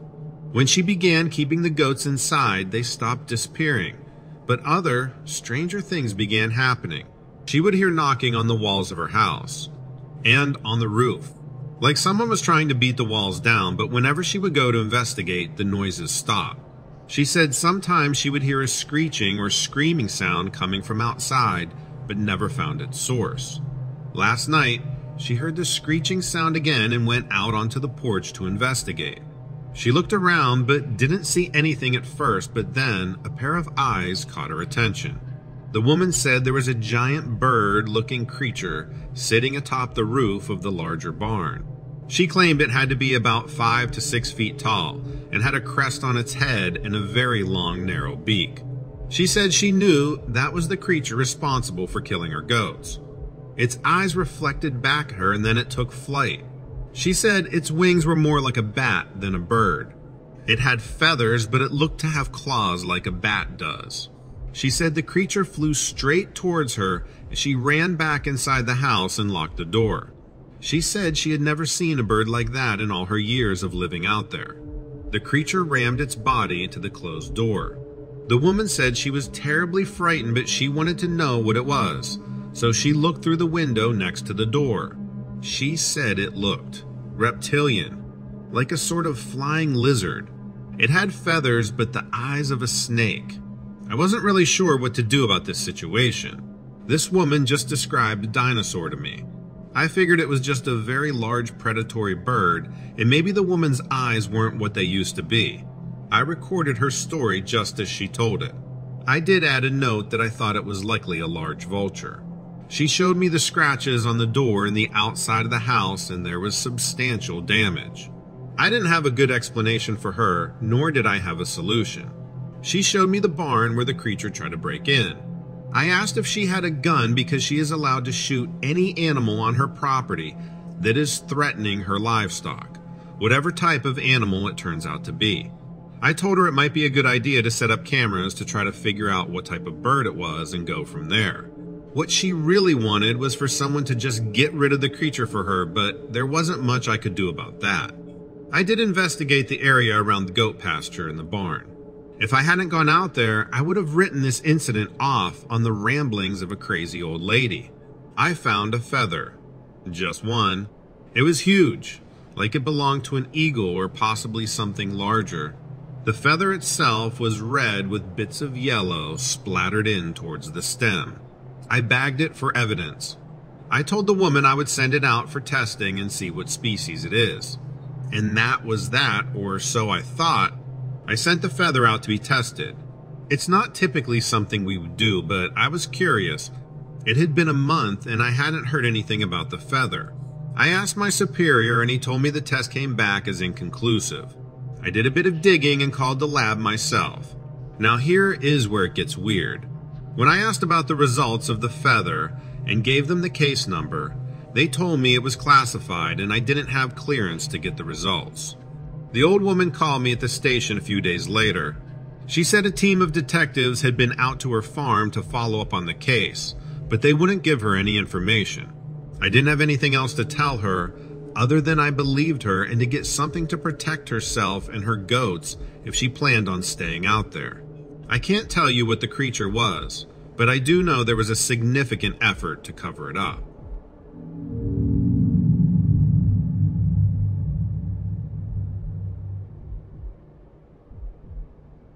About two months ago, my roommate and I moved into an apartment in an old mill town. With the housing market so crazy, we ended up deciding not to buy a house like we'd planned. Apartment prices have also been really high, but we got lucky and this building had someone break their lease unexpectedly. The apartments are in an old paper mill, and ours is on the second floor facing a pond. The pond we can see is called Paper Goods. It's not huge, but it has a nice little public frontage area where people can park, eat lunch, and walk their dogs. It gets a lot of foot traffic. We have a smaller dog who is older now, and it's convenient that the park is there because he has to go out like every two hours. I've been working from home ever since the pandemic, which works out perfectly. My roommate Jason is a nurse at the local hospital and usually works the third shift. He gets home around 7 a.m. every morning. My job starts around 8, so I wake up early and have a few hours to eat, clean up, and take the dog out before Jason gets home to sleep. A week after moving into the apartment, I took our dog Sam outside really early. He wakes me up when he needs to go out, and I get up really quickly so that he doesn't have an accident. I went out in sweatpants and a jacket since it was starting to get cold here. Dawn was just coming up and it wasn't quite light out. The street lights were still on and the ponds covered in mist. It was really pretty, and I snapped a picture to send Jason while Sam was sniffing around. I crossed the street to go over into the little park and kept an eye out for the geese, who usually hang out looking for bread and scraps. A little past the picnic tables, there's an area with stairs that leads down to the water. You can't actually get to the water because of the reeds, and it's always shady there. I was waiting for Sam to finish checking out a rock when I looked up and saw a person standing near the reeds. But after a few seconds, I realized it wasn't a person, just a person shaped figure in the mist. I moved a little closer and noticed that where the feet should have been, there was nothing. The figure was floating about a foot off the gravel. Sam didn't seem concerned at all and kept wandering down the path, which circled much closer to the figure. I went along but kept my keys in between my fingers just in case. We got about 15 feet away and the figure shifted a little in the opposite direction. It was like a denser gathering of fog in a vaguely human shape. Again, Sam didn't react to it at all and just kept going. As we headed back toward the apartment building, I kept turning to look back, but it didn't move from that spot. By the time we got back inside, when I looked out the window, the fog was mostly gone over the pond, and the figure was as well. I didn't tell Jason about it because I knew it sounded crazy. I didn't see it the next day anyway. There wasn't any fog. But two days later, it was there again in almost the same spot. This time, I crept a little bit closer, and again the figure moved away from me, only a few feet, but it was definitely reacting to me moving closer. Jason had the next day off, so I decided not to say anything again, knowing he'd be the one to bring Sam out first thing. He commented that I was up really early. I usually sleep in when he's off, and I just waved it off. But I watched at the window when he took Sam over to the pond. I had to squint, but even from our apartment, I could see the shape in the fog, in almost the same spot near the reeds. I also saw the exact moment he saw it. Jason stopped for a second, but Sam kept trying to trot ahead and got snagged. After a few seconds, Jason actually turned around and headed back to the apartment. I was waiting at the door when he got there and asked if he'd seen it. He immediately asked me what it was, not even bothering to ask how I knew about it. I told him I had no idea, and we stood in the kitchen talking about it. Like I said, it was early enough in the day that we never saw anyone else over there, so we didn't know if anyone else had seen it. I explained I'd seen it a few days ago, but wanted to see if he noticed it too so I'd know I wasn't crazy. We both agreed that whatever it was, whether it was a natural phenomenon or some kind of ghost, didn't seem malevolent in any way. It just kind of hung out there. We kept seeing it over the next few days. When Jason got home in the morning, he'd ask if I'd seen it and I'd update him. On days he was off, we woke up together and took Sam out to get another look at it. We never saw any features, heard any voices or anything like that. But every now and then we'd see what looked like an arm or a leg, and the figure would look a little more like a person. These last few days, we haven't seen the figure at all, since there hasn't been any fog or mist. Part of me thinks maybe it's hanging around in the same spot anyway, but I'm too scared to walk over and try to feel it out. We're going to continue keeping an eye out for it, and hopefully it keeps showing up, whatever it is.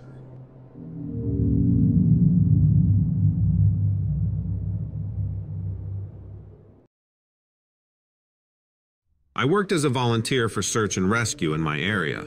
I lived near a popular hiking area on the east side of the Rocky Mountains, so we would often get out of state hikers who were woefully unprepared for mountain weather and terrain.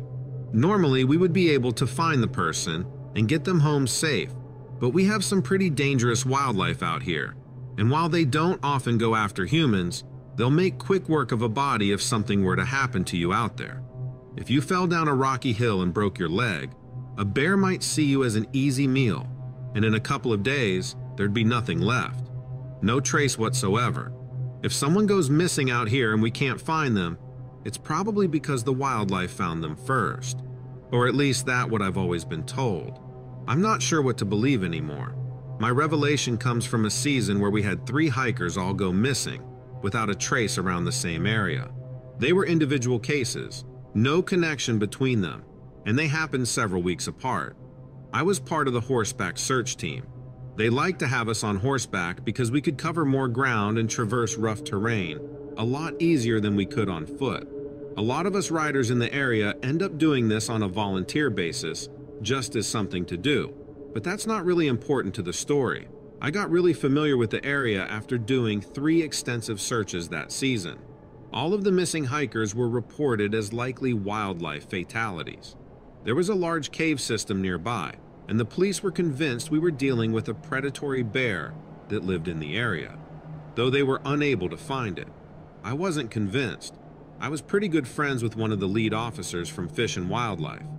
He told me that bears don't typically live in caves. In fact, no large predators do. Sometimes they'll take up temporary residence in a cave, But even when searching for hibernation spots, bears tend to burrow in a side hill. He didn't think we were dealing with a bear. Something might live in those caves, he said, but it isn't a bear. We organized the team to do one last search around the caves before officially calling it off. I remember it well. There was no sign of the missing hiker, or any of the missing hikers for that matter. But we did the search anyway. We organized in grids so we wouldn't be overlapping. My section of the grid was the one nearest to the caves, but I wasn't concerned. I was on horseback and I was carrying a sidearm in the event I ran into any combative wildlife. My horse never much liked that area, but we had been over there so many times that year, I thought she was finally getting used to it. She was on edge that night. She wasn't outwardly nervous, but I could tell she thought something there wasn't right. In hindsight, I should have listened to her. It was around dusk when we were on our way out that I heard something in one of the caves as we passed by. It sounded like someone threw a rock down the cave, but I didn't see anything. I asked, Who's there? but received no response. A moment later, in the darkness of the cave, I saw two eyes emerge. My first thought was bear, or mountain lion, so I grabbed my gun and pointed it at the mouth of the cave. I told whatever it was to stay in there, not expecting it could understand me, but oftentimes if wild animals hear humans, they'll steer clear. But if this really was the rogue predatory bear that was killing these hikers, I was likely in trouble. My horse was fidgety and nervous now, and I couldn't blame her. I could tell she wanted to bolt and run, but I didn't want the creature in the cave to chase us if it didn't already have a mind to. It blinked at us in the darkness and slowly emerged from its rocky home. What I saw at the mouth of the cave left me speechless. I expected to see some kind of animal, something covered in fur, but this was far from that. It looked like a little human, almost ghoul-like. It was bald and pale as the moonlight shining above. Its limbs were spindly and appeared too long for its body. Its legs had strange angles to them, almost as if they were a morph of human legs and those of a dog. The creature moved awkwardly, but I imagine if it wanted to run, it could move pretty damn fast with those hind legs. Its face was the worst part. I mean, seriously, I can't even properly describe it to you. It was like looking at a skull. Imagine it, its nose was just two slits on its face. And those eyes, oh man, those dark eyes took up just about its entire head. The way it stared at me sent chills down my spine. It looked like some sort of demon, something out of a horror film. It hissed at me when it saw me, and I'm not ashamed to admit I was scared out of my wits. Without thinking, I took a shot at it but who knows if it hit. I mean, the creature retreated into the cave so quickly I couldn't tell if the shot landed or not. There was no way I was sticking around to see if it was going to come back out. I was out of there like a bat out of hell. Once I got back to my truck, my hands were still shaking, and I called up my friend from Fish and Wildlife. I told him straight up that I saw something in the cave a moment ago, and that it wasn't a bear. I expected him to laugh or make some joke, but he was pretty cryptic in his response. He told me about the unsolved missing person cases near large cave systems and how there's all this speculation about what the correlation is, if there even is one. The way he talked about it was chilling, I tell you. He mentioned that the police didn't know about it, but most park rangers did. He even said that half the time they are sent out to dispatch a dangerous bear, it turns out to be something else entirely, something that isn't a bear at all. I could tell he was serious, and he told me to go home, assuring me that he'll take care of it. And that was that. It was like an unspoken agreement between us to never talk about it again. But I'll admit, it's something that's haunted me ever since. Every time I drive by that area or hear about another missing person, I can't help but think about that creature and what it might really be. It's one of those things, you know? The more you think about it, the more it gets to you. It's left me with more questions than answers. What was that thing? Why did my friend from Fish and Wildlife seem to know about it? And why don't they tell the police? But I guess some things are just better left unknown. All I know is I'll never look at caves or wild animals the same way again. I still have dreams about those dark, soulless eyes staring at me from the shadows of that cave. It's an experience I wouldn't wish on anyone, and something I'll never forget. No way, no how.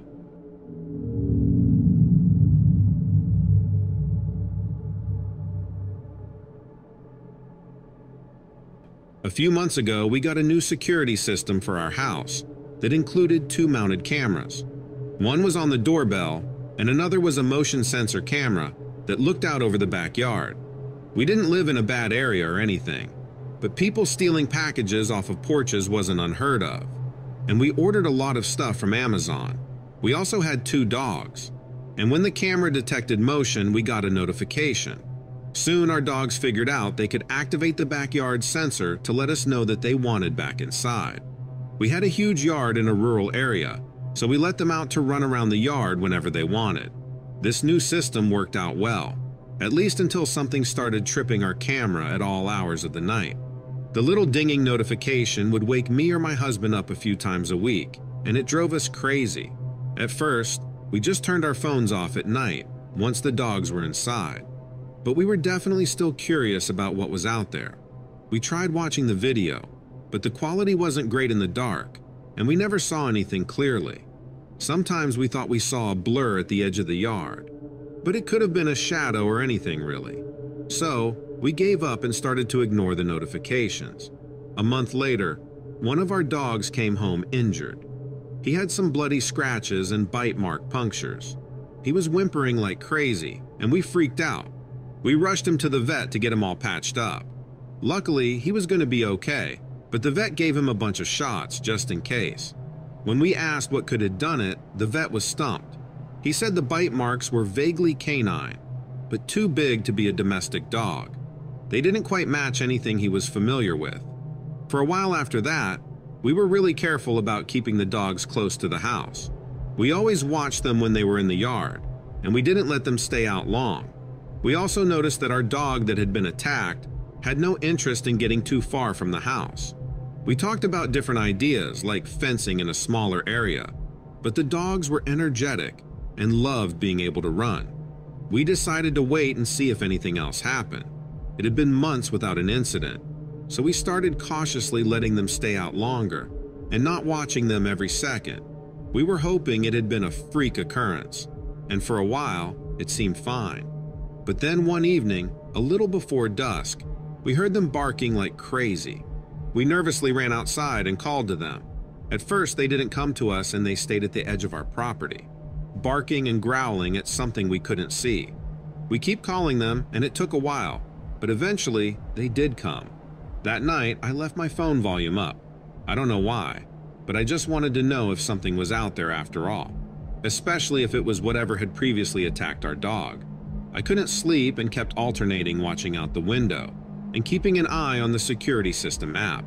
By 1 a.m., nothing had come past, so I relaxed and fell asleep. Luckily, when the ding sounded on my phone, I was only half asleep. I shot up and grabbed my phone.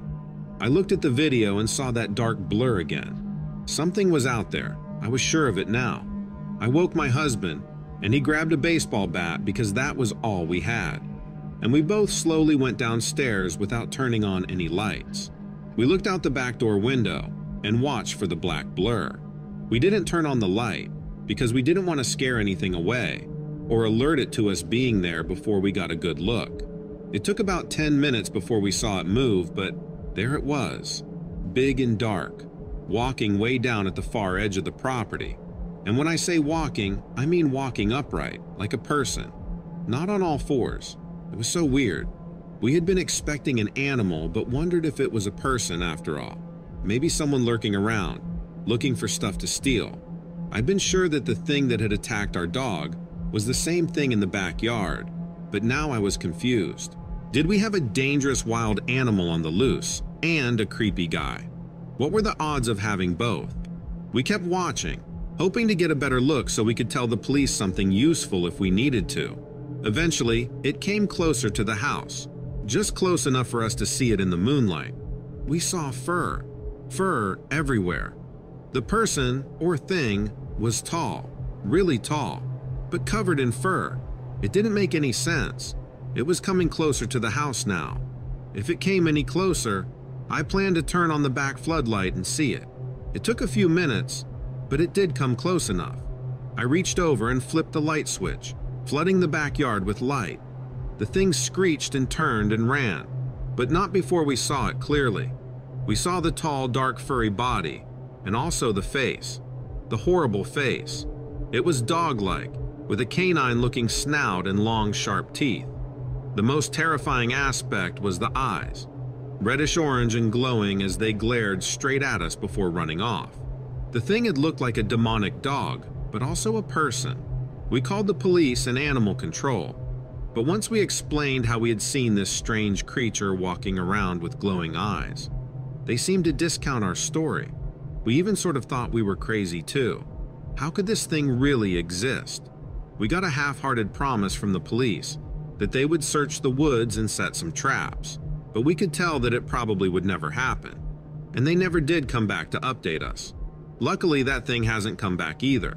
At least not yet.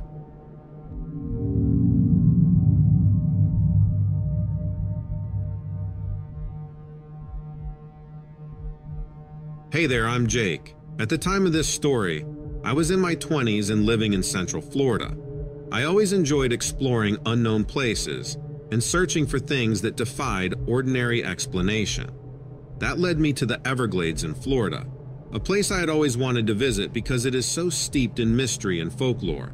The Everglades are famous for their sprawling wetlands, mysterious marshes, and dense mangrove forests. But among the locals, they're also known for something more sinister, a place where strange and unexplained occurrences have been reported for generations. I decided to head to there after hearing stories about an unidentified creature spotted in the area. Some people called it a mere alligator, but others swore that it was something more ominous, something otherworldly. Intrigued, I planned my trip during the fall, when the swamps are supposedly at their most eerie. When I first arrived, the feeling was instant. I couldn't shake the feeling that I had stepped into another world. The air was thick with humidity, clinging to my skin. Tall moss-covered trees loomed overhead, and the ever-present chorus of insects buzzed in my ears.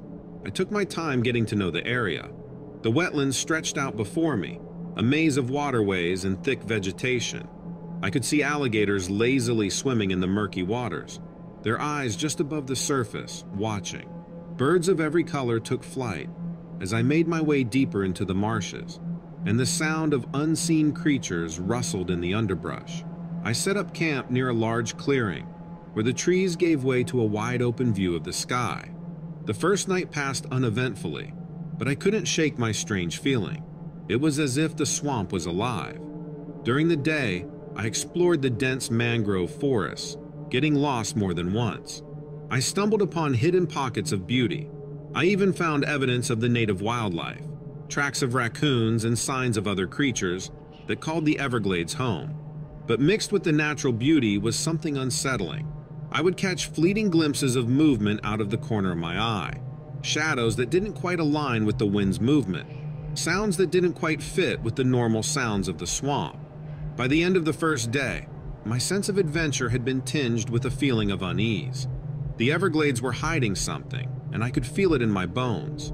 It all began around midnight.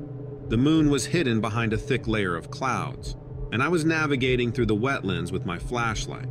The only sound was the occasional splash of water or the distant hoot of an owl.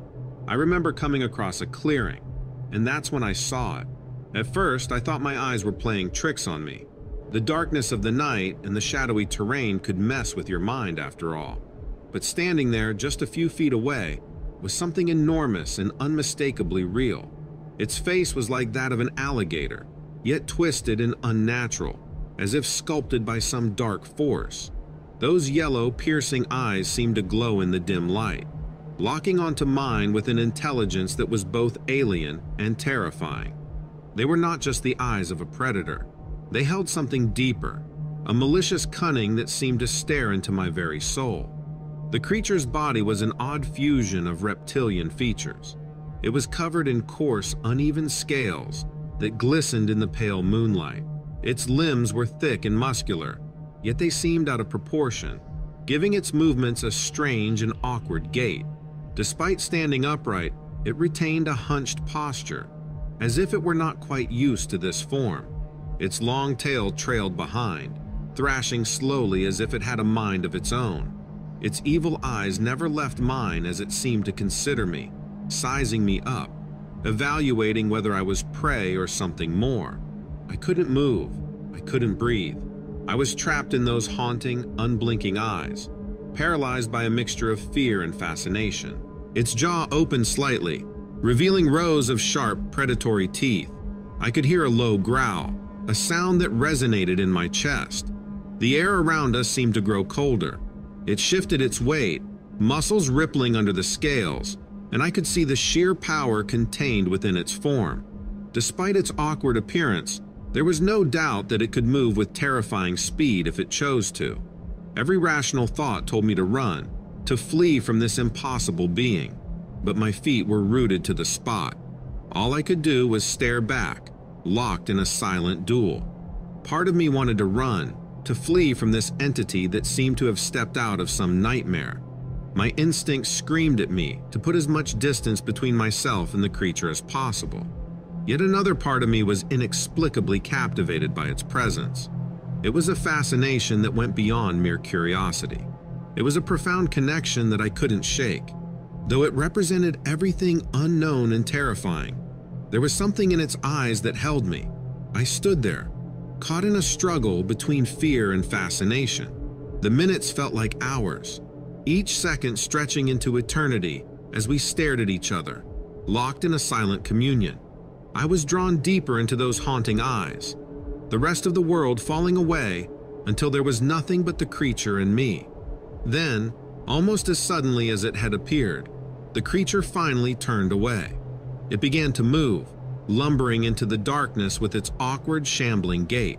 Its movements were slow at first, deliberate and measured, as if it were reluctant to break the connection. But gradually it picked up pace, its form growing fainter and fainter until it was swallowed by the swamp.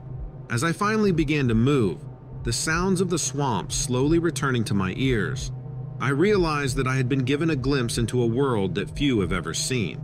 I returned to camp, but sleep was impossible. The following day, I went back and tried to find traces of the creature, but there was nothing. No footprints, no signs, no evidence. I left the Everglades with more questions than answers. The experience stayed with me, haunting me. People may dismiss my story, but I know what I saw. The Everglades hold secrets, and I had stumbled upon one of them. That creature, whatever it was, will always be etched in my memory, a chilling reminder to embrace the wonder and terror of our extraordinary world.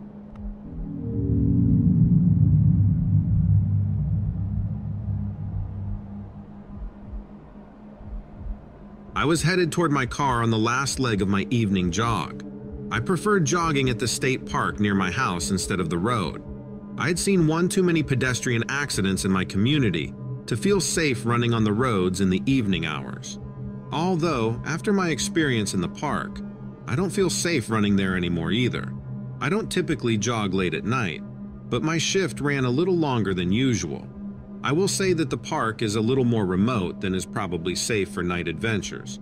I haven't seen any weird people there after dark, but we do have quite a robust wildlife population in the area.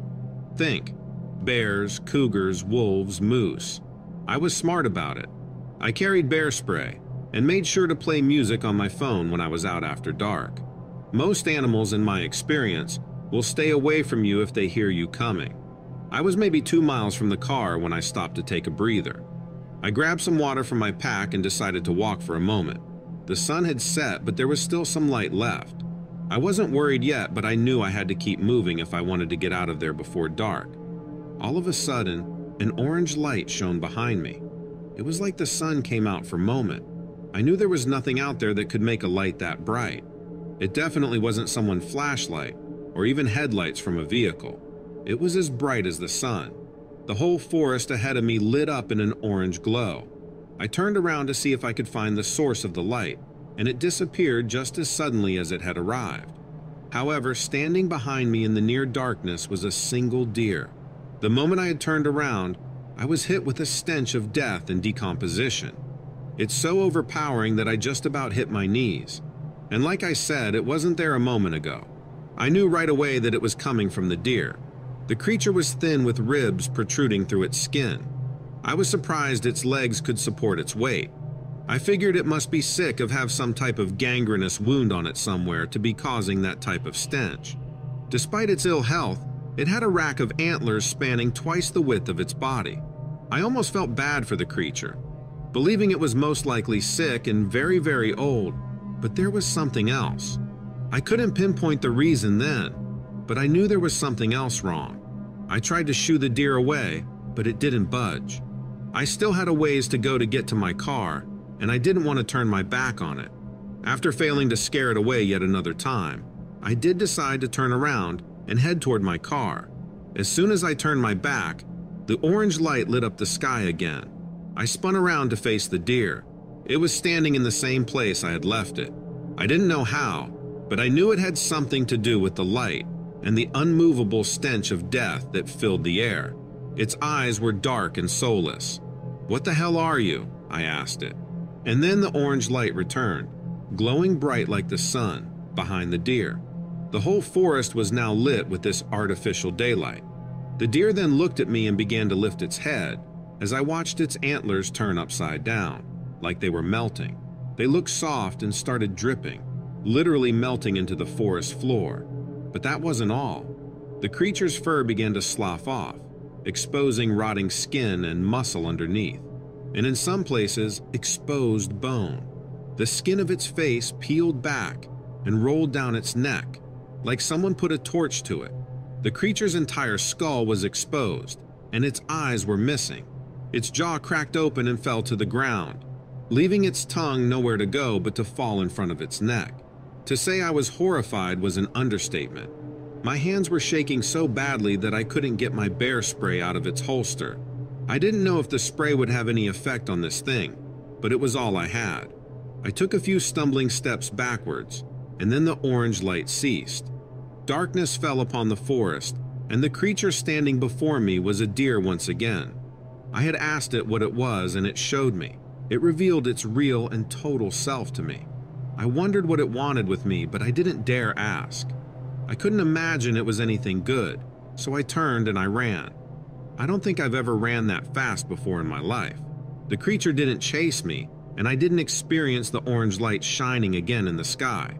Part of me thinks the creature was just screwing with me, because something that could do that could have probably made quick work of me if it wanted to. I don't know why it let me go, but I can tell you one thing for certain, and it's that I am staying the hell out of the forest after dark.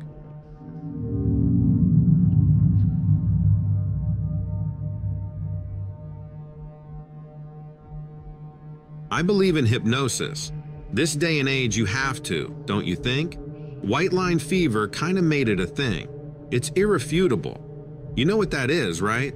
It's that sensation you get after driving for a while, arriving at your destination, only to wonder how exactly you got there. That's a form of hypnosis.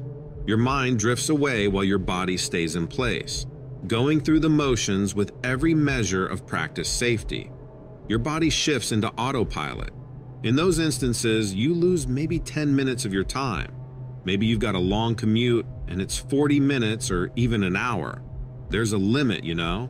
Your brain kind of checks in. It pings back into your body to make sure muscle memory hasn't steered you off a cliff or something. In cases like this, it's easy to forgive the 10 minutes of time that you don't remember experiencing. However, I've forgotten more than 10 minutes. I've forgotten three days. Maybe in the span of an entire life, three days doesn't sound like a lot, but it sure is for me. It was not a bender, and it was not some accident. Three days were stolen from me. I remember driving east on I 90, crossing South Dakota. I was on the way home after spending the holiday in Montana. I was only midway through the drive. I wasn't tired yet, but I was alone on the road. My eyes were playing tricks on me, like eyes do. Every pair of headlights cresting over the horizon felt like a big deal. When they were far away and especially small, I found myself hoping that I was coming upon a city. I-90 isn't much to look at, and a city would have helped pass the time. But each time it was always the light of some other vehicle coming towards me. We passed and then drifted apart in anonymity. That went on for about an hour. Then a trio of blinking lights crested on that horizon all different colors, spaced too far apart to be the front end of a car, blinking, flashing, fading to black. I remember turning down the radio and shifting the lever that cleans my windshield. There was something wrong about those lights. They weren't just coming toward me. They were rising off the ground. They were climbing too high to be a trick of the road. Three lights. Yellow, blue, and red. They brightened and dimmed. They started to spin, as if each was mounted on the edge of a giant frisbee. I remember under my breath and asking just what I'd found. I remember passing underneath the lights. I remember sticking my head out of the driver's side window to get a better look at the vessel above me. It was as long as two city buses stacked end to end. The strobe of the lights revealed a smooth black metal. There were no connected parts and no seams where the material was bound together. The shape was one solid piece. Another light came down, I think. I remember shielding my eyes from something. I remember slamming on the brakes. If it was another car on the road, there were never any reports. I remember feeling like I was falling.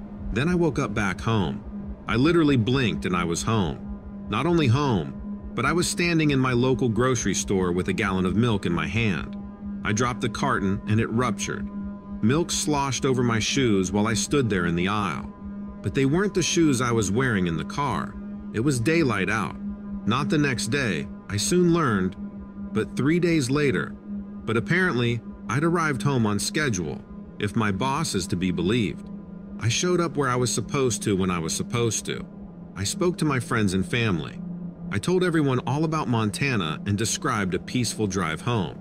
I know it wasn't me speaking, not really. Otherwise, I would have mentioned the lights in the sky. I lived my life as normal for those three days, or at least my body did. Autopilot. Auto living. There's no point in doubting whether or not my body was here. Everyone says that it was, so who am I to argue? But that didn't make it right. I saw a doctor about it since I thought I was going crazy. There were no abnormalities in my brain or in my sleeping patterns. Everything psychological was right as rain. I have a new scar though. I found it recently. It's a vertical line down the back of my neck, running parallel to my spine. I asked for an x-ray on it and I've had surgery, I guess. There's also now a metal plate connecting two of my vertebrae. I've seen the scans with my own eyes. I can feel it when I press my fingers against my neck, but it's not supposed to be there. There's no record of that operation. I know there was no auto accident. My car wasn't wrecked and I wasn't hospitalized. If the surgery was performed over those three days, I wouldn't have healed already. Yet what other explanation is there? I saw the lights, I saw the craft, and then I arrived home. I arrived home early, and I lived three days of my life without ever realizing it. I find myself wondering what woke me up, what provoked my brain to check back in on reality in that specific moment. It was just a trip to the grocery store, as far as I could tell. Or were they simply done with me? Did they finish with the body first, and then spend some extra time on the mind? Did they like what they found? Three days is a lot of time. It's a long time to spend without control. It's long enough that it's hard to imagine what my mind was doing while my bones were walking around these streets. Where was I? What was I doing? What was being done to me? I can't get the time back. I know that now. I just need someone to tell me if this is all over. I don't want to be afraid of the lights at the end of the road.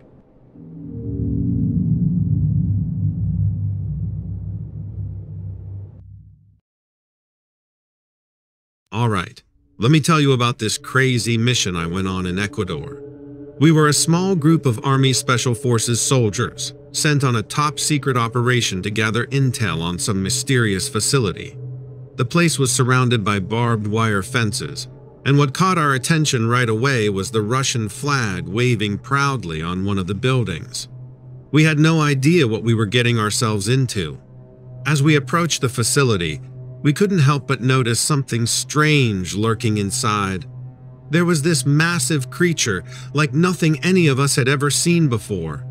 Picture an eight foot tall dog, but standing on its hind legs. It was muscular, with the kind of build that reminded me of a werewolf from those old horror movies. Yeah, that's exactly what it looked like. Now, our orders were crystal clear. Take photos of whatever was going on in there, but under no circumstances were we to engage with the creature or anyone else. But let me tell you, curiosity got the better of us. We couldn't just ignore this strange beast and the whole operation happening right under our noses. We quietly moved closer, making sure not to alert anyone. It was nerve wracking, to say the least.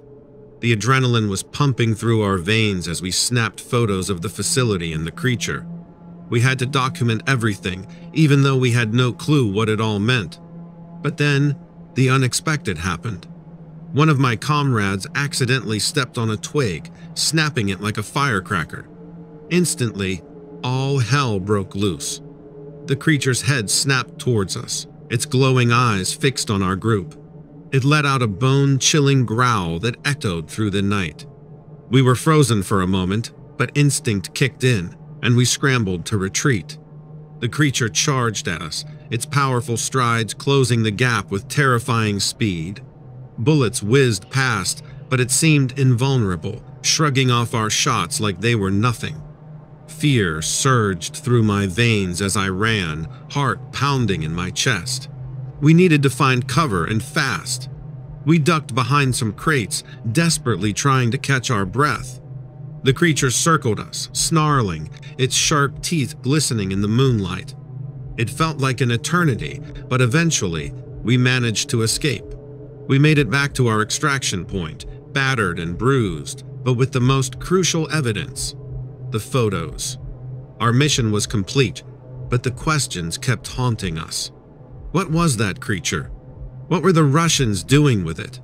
That night in Ecuador will forever be etched in my memory. The encounter with that monstrous creature, the rush of adrenaline, and the lingering mysteries left behind.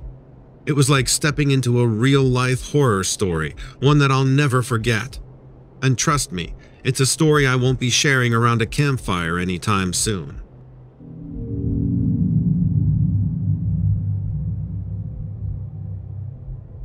We thought we heard a woman screaming. That's why we went into the woods. It sounded like a woman plain as day. There had been a few stories about our property being cursed or haunted, and every once in a while that lured out the teenagers.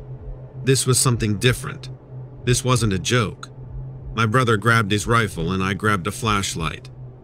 Whatever was going on with her, the woman's blood curdling screams meant something was wrong. It was safer to have a weapon on hand.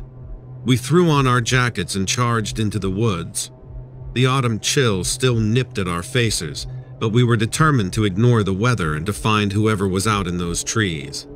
They needed our help. Another shriek gave us our direction. We called to them. We made a lot of noise, hoping to guide the woman to us. But the closer we got, and the more we made ourselves known, the quieter the stranger became. The screaming was more spaced out. It faded into a sort of animalistic bleating, then to a whimper. Then she was silent, and we were alone in the trees. We were sure she was there. We wondered if maybe someone or something had made her quiet down. We stupidly decided to split up. Looking back, that was the biggest mistake we could have made. What if the woman had run into trouble? We were just going to shoot our way out or bludgeon the problem with our flashlight. I don't know what we were thinking. I'll be the first to admit that. Hearing someone scared or hurt, hearing it coming from our family's property, we felt compelled to act. We never even considered the alternative. I wish now that we had. After all, it wasn't a woman in those woods. It was just a thing that sounded human. My first glimpse of it was a white flash crossing the beam of my flashlight. It looked like a horse or a cow, but it was moving too quickly for me to get a good look. The trees around me were too tightly spread for an animal that big to navigate them anyway. I thought my eyes were playing tricks on me. The next scream came from directly beside me. I jumped, turned, and tripped over my own legs. Fear quickly turned them into jello. I pedaled backward on my hands, sprawled like a crab on the ground. My flashlight had rolled away from me. When it came to rest, the beam was pointed directly at the thing screaming for our attention. It stood like a man, sure, but it couldn't have been one. Its body, thick and muscular, was covered head to toe in a smoke white fur.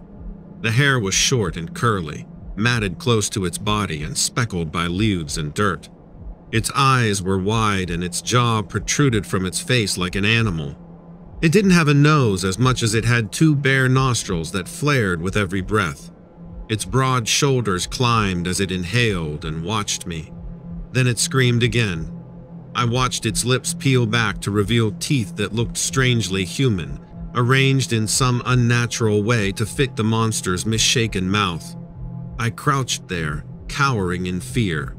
My hands went up to cover my ears as my eyes began to close. Then the creature's wails were interrupted by a gunshot. You always can count on your siblings, can't you? I heard the bullet sail over my head.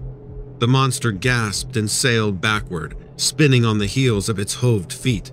Its back crashed into a tree trunk and it soon crumpled to the ground.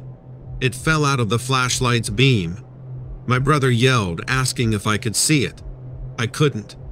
I dove for the torch and raised it, trying to find the creature in the woods again. We both knew instinctively that the monster wasn't dead. It was too big for one bullet to do the job. I caught the flash of white again, this time stained red, disappearing into the midnight woods. We tried to chase it. Whatever it was, we couldn't let it linger on our property.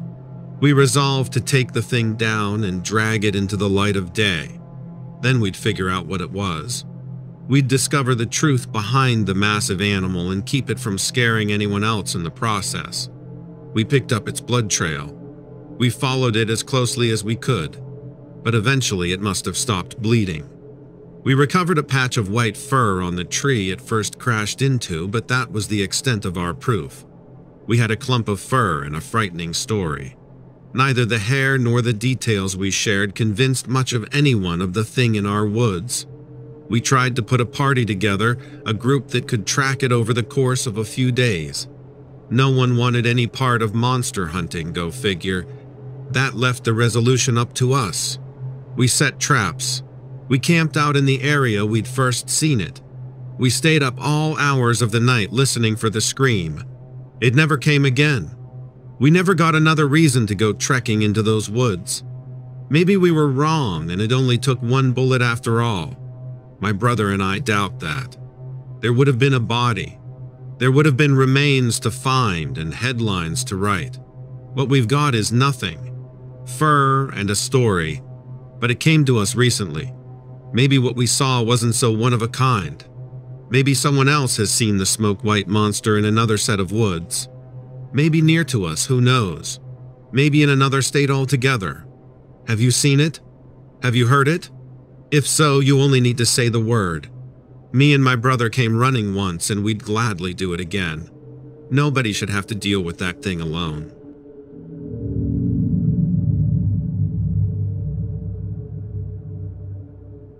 My father wasn't a perfect man. I haven't forgotten the line nights, the loud arguments, or the empty bottles. But I do know, with the benefit of hindsight, that my father did his best. Once upon a time, he might have been good at it. Fatherhood.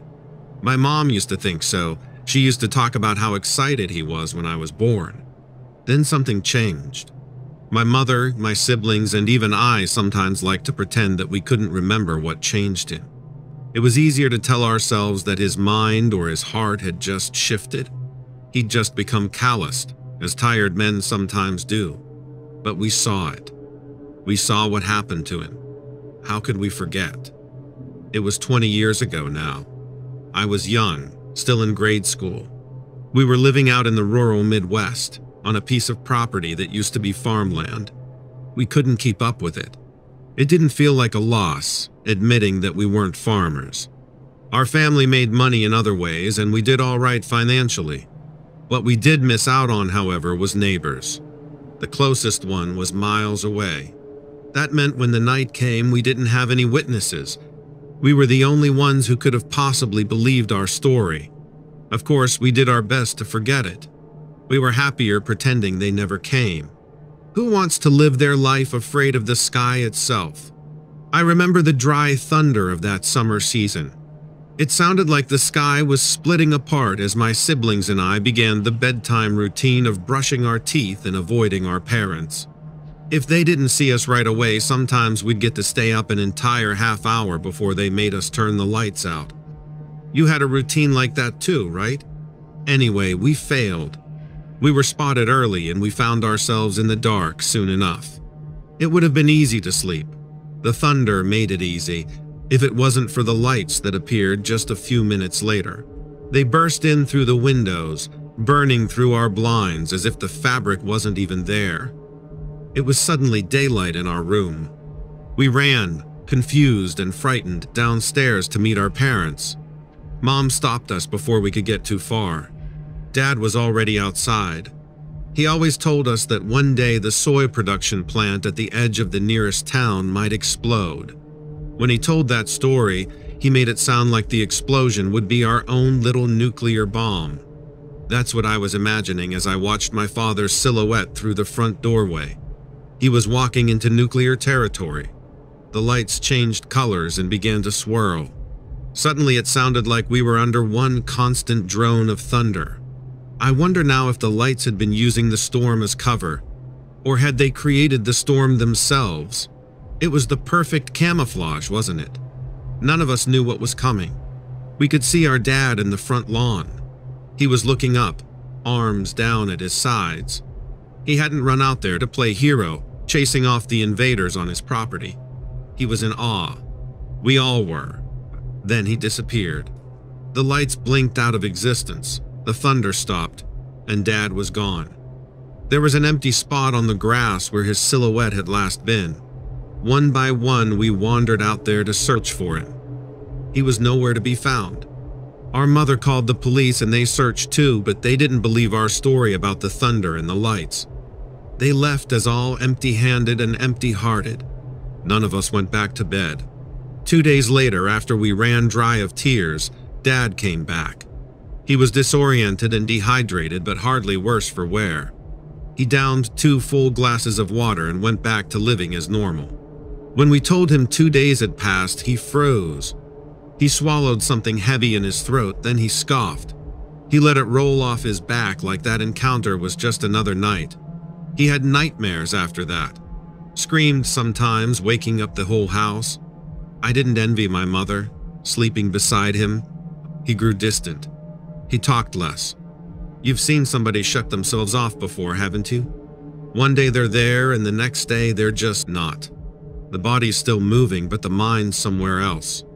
That was what happened to our father. There wasn't much we could do to change it, except talk some more with law enforcement and local doctors. We wanted to help him and we wanted to know what happened that night. None of them were any use. Most, as a matter of fact, turned us away. Even the doctors who said they'd take our insurance got cold feet. Sometimes it seemed like they wanted to help and then they just wouldn't. It was like somebody was pulling their leash, you know? They'd try to reach out to us, they'd get real close, and then the world would yank them back. Maybe they were just scared. Maybe someone told them not to help. I'll never know the truth of that. What I do know is that my father did his best, and no other family should have to deal with what we endured. Nobody deserves that, least of all the ones who disappear. Because it's happened to others, you know? It's happened to other people that nobody wants to believe. I guess it requires a certain sacrifice, admitting that there's something unknowable out there. If we hadn't faced it, maybe we'd feel the same way. For now, I just want to warn you. Some people say that these things, when they show up, they're absolutely silent. That wasn't what we encountered. Sometimes they come in the thunder.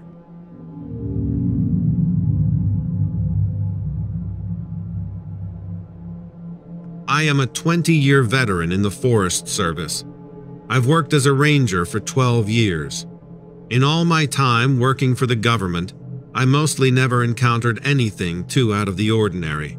That is until my last station job as a ranger at Gooseberry Falls State Park in Minnesota. It was quite possibly one of the most terrifying experiences I've ever had while on duty, and certainly not something I'll ever forget. To explain how it happened, we need to go back about six months, before the incident occurred. I had been planning on retiring, but my son had just graduated college and was looking to move closer to Minneapolis. He asked me if he could work part time with me while he looked for a full time position, so I decided to pass up retirement and stay on the job. By the way, I should make a note that this was all pre COVID. I had heard rumors of management positions opening up in the area. So, after discussing it with him, we both agreed that he would come back home for around six months while he hoped for the perfect job to present itself. I was first introduced to Gooseberry Falls State Park during my orientation as a ranger there, and they took us out into the park at nighttime. It was an amazing sight, getting to see all these bright campfires down below from way above on top of the waterfalls. The rocks from the falls are very smooth and slippery due to years and years of erosion. You have to be careful if you want to climb down to view the falls at night. Our group had just finished our tour and was going to head back towards our cars when one of my coworkers, Tom, suggested that we climb down the falls. Just, you know, for the sake of it. I agreed, but we should have known better. And so did a handful of others who were nearby. As soon as we began climbing down, I sensed something wasn't right. But not wanted to look like I chickened out, I pushed those feelings aside as nothing more than nerves. It started out easy, everyone traveling downward in a single file behind each other, staying close and yet far enough apart for safety's sake. Then, around three quarters of the way down, things began to get a bit more dangerous. Tom fell. I didn't see him go down, but I heard the commotion. One of my other co-workers had seen what had happened, yelling up to us that he needed help getting Tom back up the rocks. Two guys rushed down to assist in whatever way they could. And while Tom was being helped back up, one of my female friends called out for help above him, saying she was slipping. It turns out that one part of the path she had been on had given way underneath and sent her tumbling downward. While this may have been scary in and of itself, what happened next could only be described as something straight from a horror movie.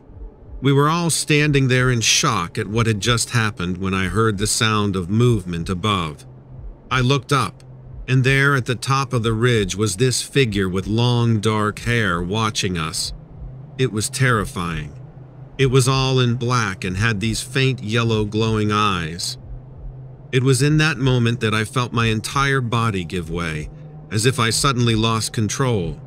The next thing I knew, I too was falling down to the ground below me. Everybody rushed over to help save me, and one guy managed to grab hold of my hand while another wrapped his arms around one leg, for whatever little good that did. They tried pulling me back up, but there was no use. I looked down below and I could see there were people trying to help Tom, though they weren't having much success. I felt then that there was a possibility that we were going to die right there on those rocks if somebody didn't do something fast.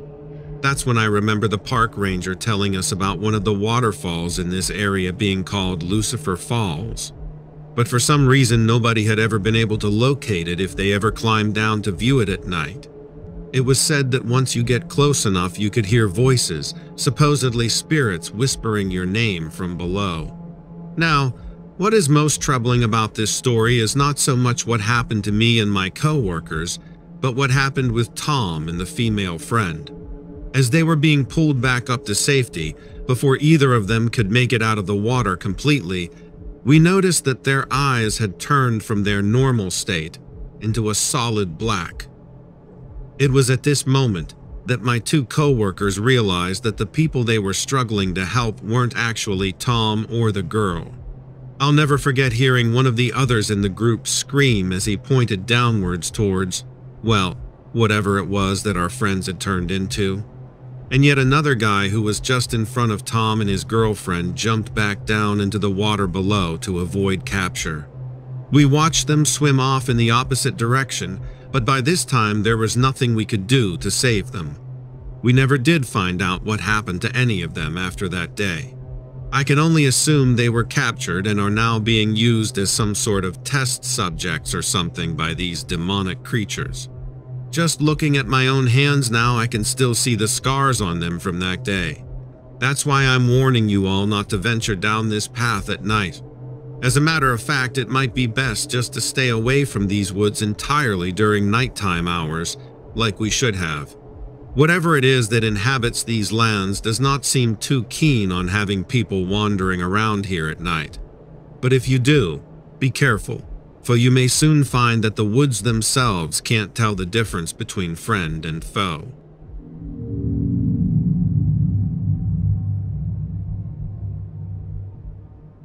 Next up is an email I received from Travis. Travis's story goes all the way back to when he was hiking in the Appalachian Mountains back in 2015. His plan was to go camping by himself out in the backcountry, but was worried about not being able to find a suitable place. But he still just wanted to go ahead at the trailhead and hike around and see what he could find. Maybe he could make a makeshift campsite with only his small tent and at least squeeze in a night or two versus figuring out a week-long stay like he had originally planned. The weather was perfect.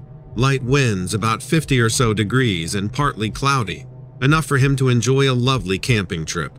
At this point, he had been hiking for probably about three or four hours and did not see anybody else on the trail. Apparently, that wasn't uncommon for the area since the further you get out on this specific trail, it's much more secluded from civilization. As he continued his trek, he notices something very odd in the forest, and that is the fact that everything around him had begun to grow eerily quiet, besides his own footsteps crunching over twigs and leaves along the trail. And what's also interesting is that this portion of the trail is thick with underbrush on both sides, and usually, at least all throughout the morning, he couldn't hear birds singing or wildlife erupting with noise and life.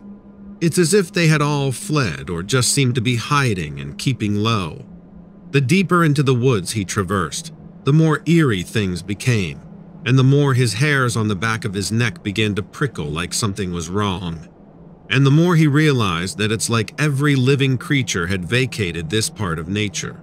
He hated to think about it, but all he could envision was rats leaving a sinking ship.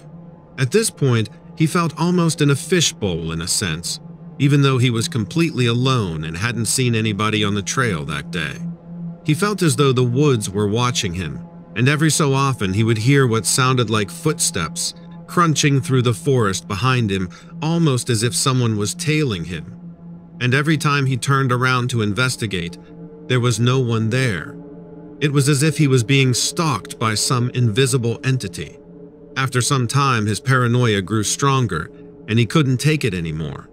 He turned around and began to head back towards the trailhead, hoping to put as much distance between himself and whatever was out there.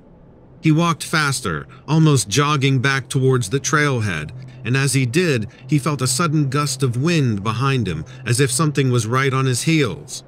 He turned around and saw nothing, but the feeling persisted and it only intensified his fear. He picked up his pace and finally reached the trailhead, relieved to be out of the woods. But as he turned to look back one last time, he saw a figure standing among the trees, barely visible and staring at him. The figure was tall and slender, with long arms and an unnaturally elongated neck. The figure's eyes glowed with an intense light, and Travis could feel its gaze piercing through him. He quickly turned away and got into his car, driving off as fast as he could, leaving the Appalachian Mountains behind him. Travis's encounter in the Appalachian Mountains left him deeply shaken, and he couldn't explain what he had seen. He didn't dare to return to those woods again, and he warned others to stay away as well. To this day, he believes he came face to face with something supernatural something that lurks in the depths of the Appalachian Mountains.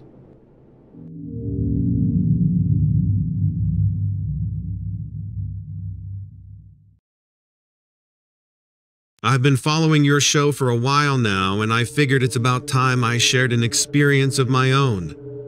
I can hardly believe it myself. It happened in my first year on the job as a park ranger in the depths of the Everglades. One night, on my usual patrol, I saw something bizarre. I was on my usual patrol, walking around with my flashlight, checking on the wildlife and ensuring campers were settled. Suddenly, I noticed something near the water's edge. At first, I figured it was just another gator. We see plenty of them in the park. But as I moved closer, I realized this was something entirely different. It was a figure, around seven feet tall, hunched over like it was examining something on the ground. The creature was covered in scales, kind of a greenish color that shivered slightly in the beam of my flashlight. It had long arms, longer than any humans, ending in what looked like claws. The sight was disturbingly abnormal. Its head was strange too, like a cross between an alligator's and a human's, round but with those reptilian features. I called out, not sure why, maybe in a vain hope that it was a prankster in a costume. But the reaction I got still gives me chills. The creature turned to face me, and its eyes, they were just wrong. They glowed in the flashlight, bright yellow with slits for pupils, just like a reptile. I was ridded to the spot, my mind racing to make sense of what I was seeing. Before I could gather my wits, the creature slipped silently into the water, leaving me standing there in the silent fog. The next day, when I shared my story with the other rangers, they laughed it off, suggesting it was the product of a long night and an overactive imagination. But I couldn't just forget what I'd seen. So I began digging through the park's old records and found similar sightings dating back decades. Descriptions of the same reptilian humanoid, the same eerie eyes, the same silent disappearance. This left me with a strange cocktail of emotions. I was relieved to find I wasn't alone in my sighting, but it was unnerving to think there might be some truth in what I saw. Ever since, on my patrols, even though I've never encountered the creature again, I often feel watched. The feeling is strongest by the water's edge where I first saw it. It's a prickling sensation, the sense of unseen eyes tracking my movement. Anyway, that's my story. I know it might sound far fetched, but I promise you, I couldn't make this up even if I tried. I would like to add one more thing about this creature's power. I've seen countless gators in my time here. I've seen them hunt, fight, and assert their dominance over the waterways. The sheer size of it was one thing. It towered at about seven feet tall, significantly bigger than even the largest gators we get in these parts. And its arms, they were thick and muscular, like it could snap a tree branch in half without breaking a sweat. There was a grace to its movements, too, an eerie fluidity that seemed both alien and yet eerily familiar. While a gator possesses a primal, raw strength, this creature seemed to radiate a calculated power. It moved with purpose and intelligence. The way it slipped into the water, barely causing a ripple despite its size, it suggested a creature perfectly adapted to its environment and possibly at the top of the food chain. No gator, no matter how large or ferocious, has ever given me the chills the way this creature did. Its presence seemed to silence the marsh around us, and even after it disappeared, it took a while for the sounds of the swamp to return.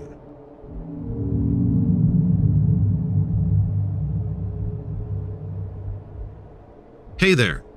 I've been tuning into your channel for a bit now. I've always been intrigued by your stories, how they all seem to be these random encounters with the supernatural. But let me tell you about my own experience. You could call me a researcher, I suppose, but I'm no academic. I'm just a regular guy who's always had a fascination with the unexplained. I've spent the better part of my life chasing after these mysteries, and it took me 20 years until I had the encounter I'm about to share with you.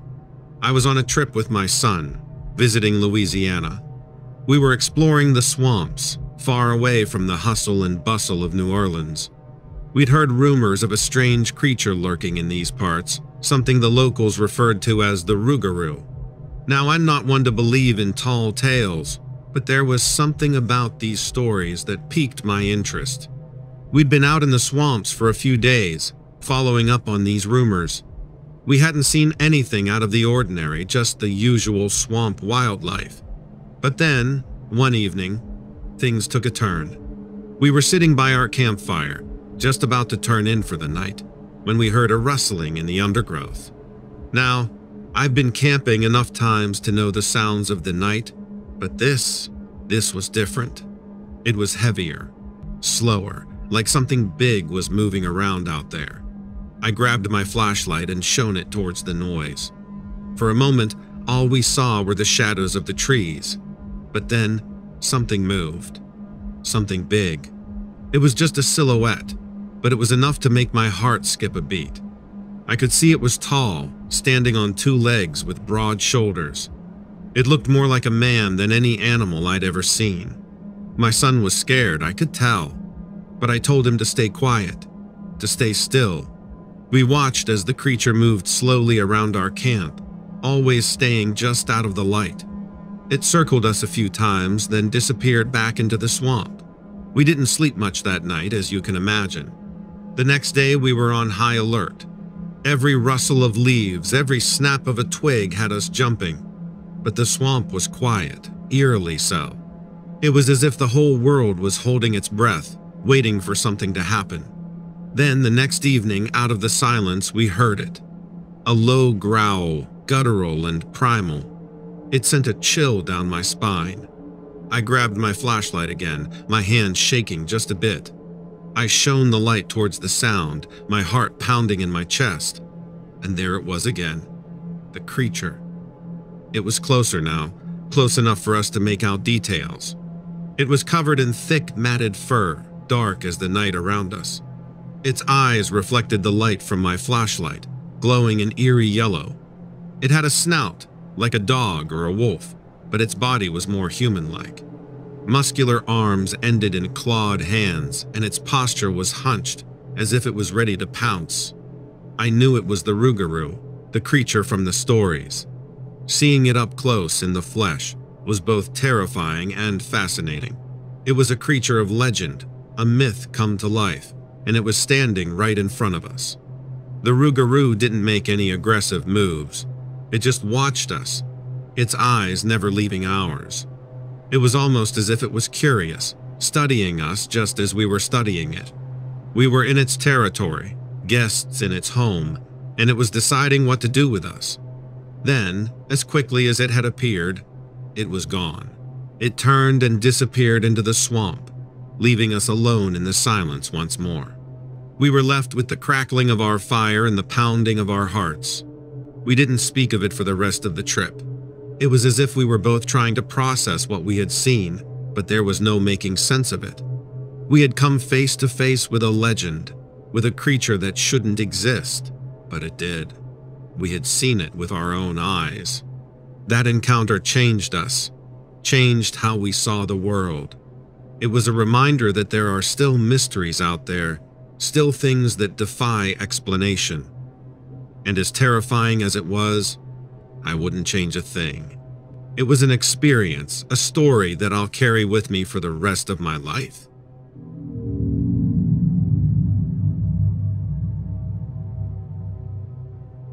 I attend college in Boston, and as you might know, the place is full of stories about the Great American Road Trip. We got the Route 66, cross country tours, national parks, all of it. But you kind of get used to it, really. I never really took it seriously and felt that most of it's for show, for the tourists. I figured as a student I was above all that.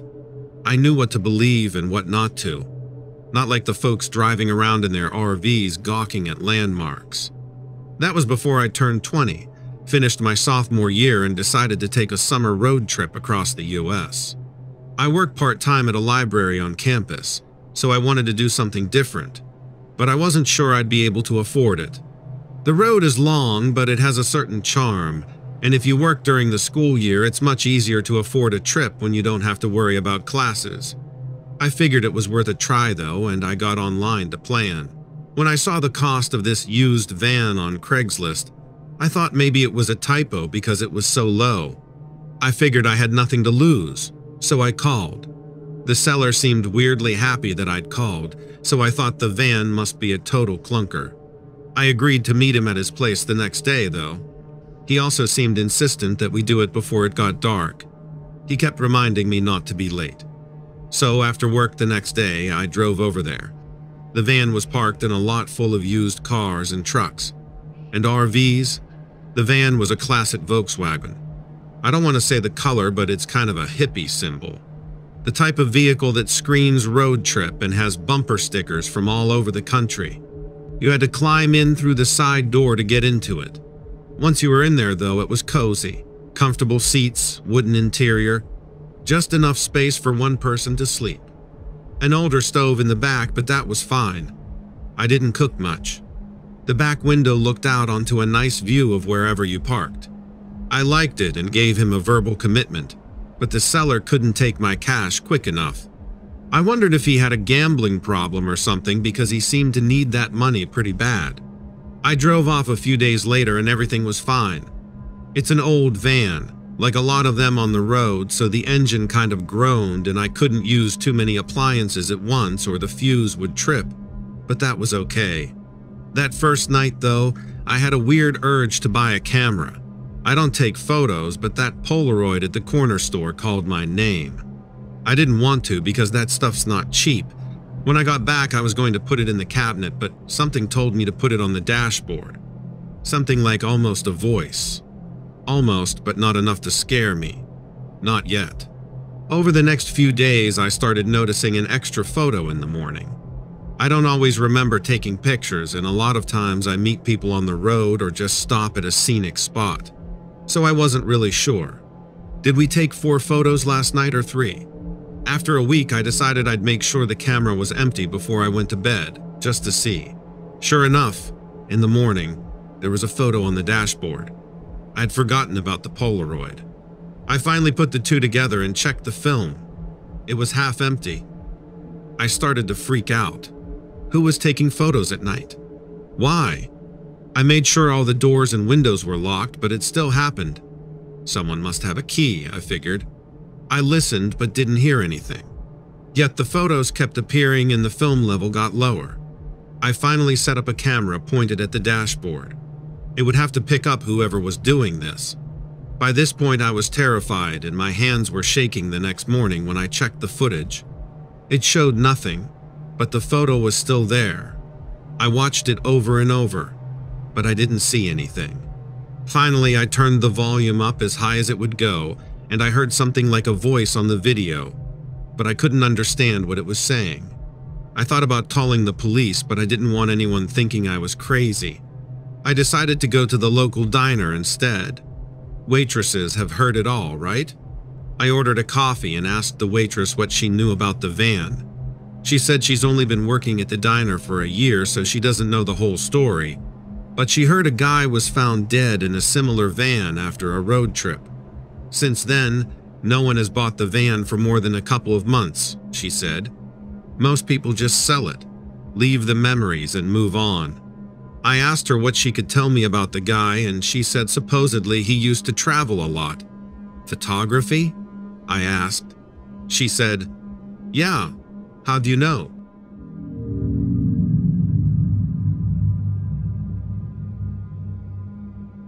Hey there, my name's Jack. A buddy of mine suggested I share my story with you. I've been hesitant to talk about it, but I guess it's time to put it all out there. So this all kicked off during my trip to Canada. I was visiting my old college friend Mike, who had settled down in Vancouver. We decided to take a trip to the Canadian Rockies, a place I'd always wanted to see. We had planned a whole week of hiking, fishing, and just soaking in the natural beauty. One evening after a long day of hiking, we returned to our cabin and realized we really wished we'd had some cold beers to drink by the fire. I volunteered to drive to the little shop down the road and fetch some. It was pretty dark, and I was navigating with my high beams on.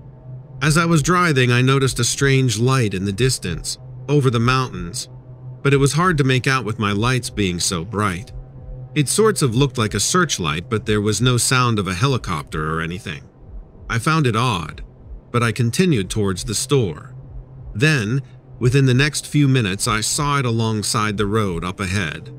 This figure. At first, I thought it was a man, but something about it was off. It was too tall, too thin, and its head was disproportionately large. Its body was frail, and its eyes were an intense black. Despite the alarm bells ringing in my head, I felt an inexplicable pull towards it.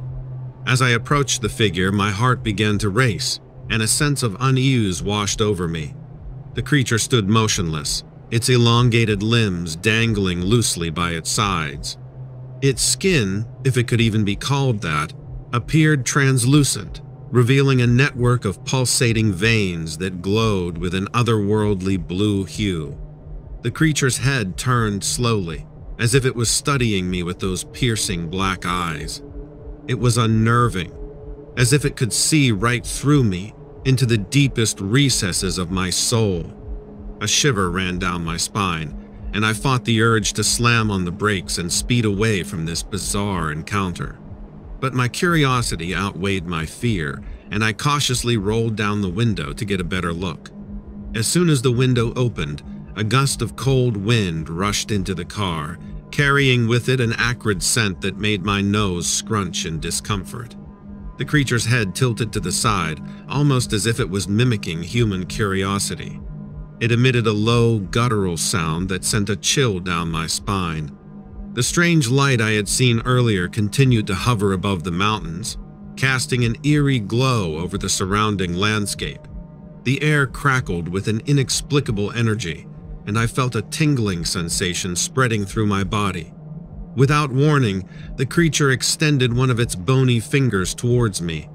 Its touch was icy and sent a jolt of electricity through my veins. I could barely breathe as an overwhelming sense of dread consumed me. In that moment, I realized that this encounter was far from ordinary. It wasn't just some chance encounter with a strange being. It felt like an encounter with something beyond our comprehension, something extraterrestrial. As the seconds stretched into an eternity, I mustered the courage to break free from the creature's gaze. I slammed my foot on the gas pedal, my heart pounding in my chest.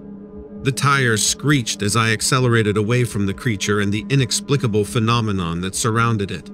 Breathing heavily, I stole a quick glance in the rearview mirror. The creature stood there, its dark eyes still fixed on me, but it made no attempt to follow. It remained an enigmatic presence in the darkness, a haunting memory etched into my mind. I finally reached the store, bought the beer, and raced back to the cabin.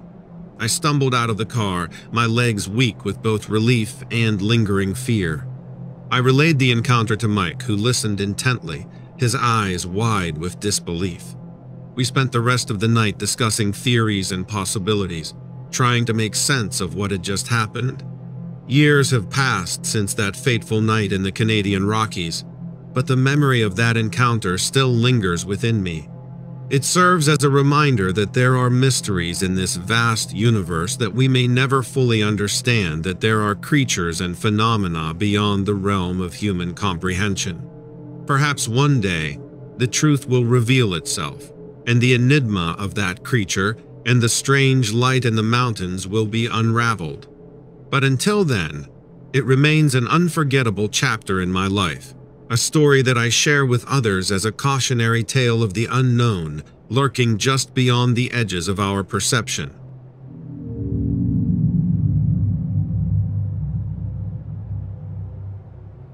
Park rangers are experiencing bizarre, unexplainable phenomena. Some deem it as supernatural, while others see it as just completely unexplainable. The story I'm going to share highlights just some of the mystery this story was submitted to me by a gentleman who referred to himself as Jason. Jason went on to tell me in his email that all this occurred between 2005 and 2009 in a national park. He wished and requested to remain anonymous, but informed me that it's okay to tell you that it is in the northern section of the United States. What's interesting about Jason's story is that he brings forth information about a search and rescue mission.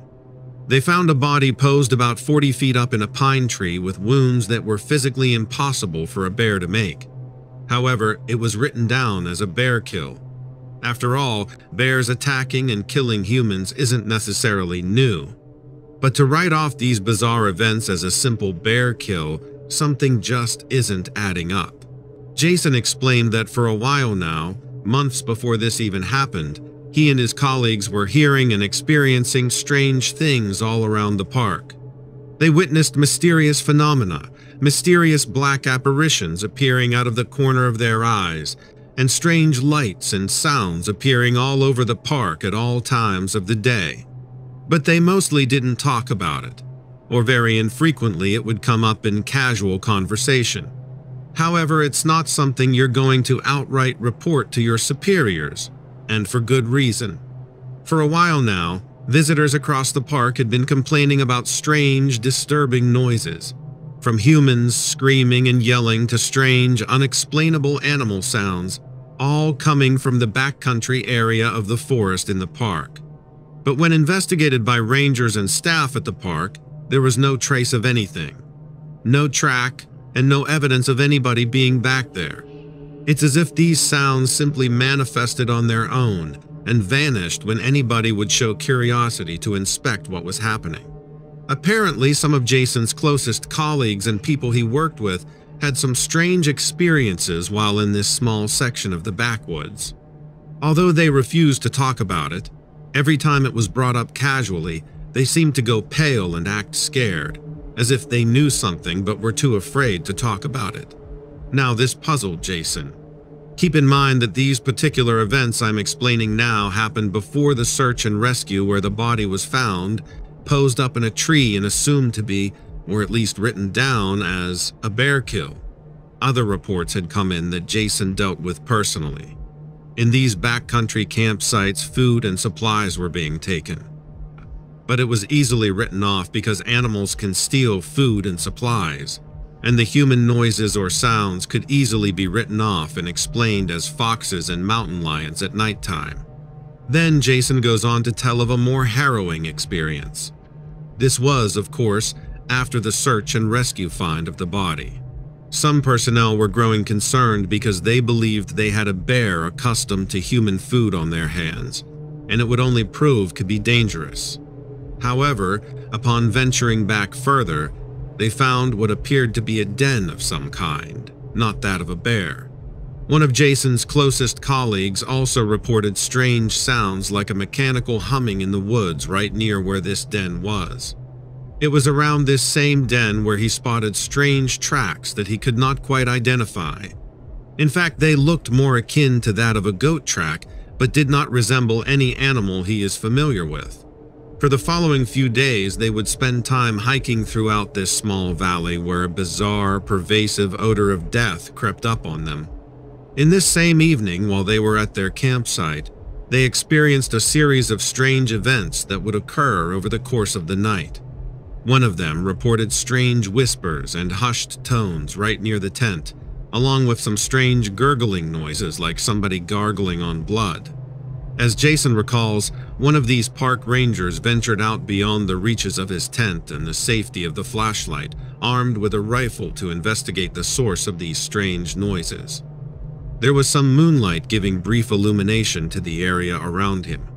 But even though he could see off into the woodlands and was shining and scanning with his flashlight, he didn't capture anything. But there were a few moments where he swore that he could see a very tall, skinny silhouette watching him from the tree line, a silhouette that unmistakably was not a bear in any way, shape, or form. What's also strange is the ever-pervading odor of death in this whole valley. The rangers who had made note of it noticed that any time the strange occurrences happened, whether it be sights or smells or phenomena, this odor of death would increase tenfold. They explained it to Jason, who related to me as this. Imagine standing next to a cow carcass that had been dead for three to four days, baking in the hot sun. That would be enough to make you gag but there was no visible source for this odor to be coming from, especially not as strong and as potent as this smell was. The following day, they all returned to the main portion of the camp with no signs or evidence to further validate what the source of the noises were. This only complicated things more as everybody was so perplexed at their findings. While everybody was creeped out, nobody was about to go ahead and point fingers and call it a boogeyman. If you want to keep your credibility, that's not something you even hint at in a professional setting. What's also very interesting is that the same day in October, two hikers would end up missing around the same area where they heard those noises the previous night in that same valley. Jason, who was now involved in a search party to find these two missing hikers, experienced a series of unexplainable events, sounds, and phenomena. These events further validated the experiences of his two fellow colleagues just days before.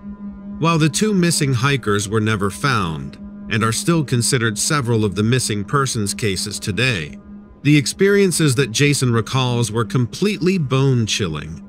Once he had discovered these human remains high in the tree, he didn't really tell me via email all the details, but he followed the appropriate protocol to have the body properly taken care of. But they could not identify who the body belonged to, and there had been no reports in the general time frame of anybody gone missing. So, the hiker was simply a Jane Doe. The problem was not so much the body and the missing person who it belonged to. It was more so the condition in which the body was found. Jason shared with me some pretty disturbing descriptions of how the body was found, and I'm not going to share every little detail.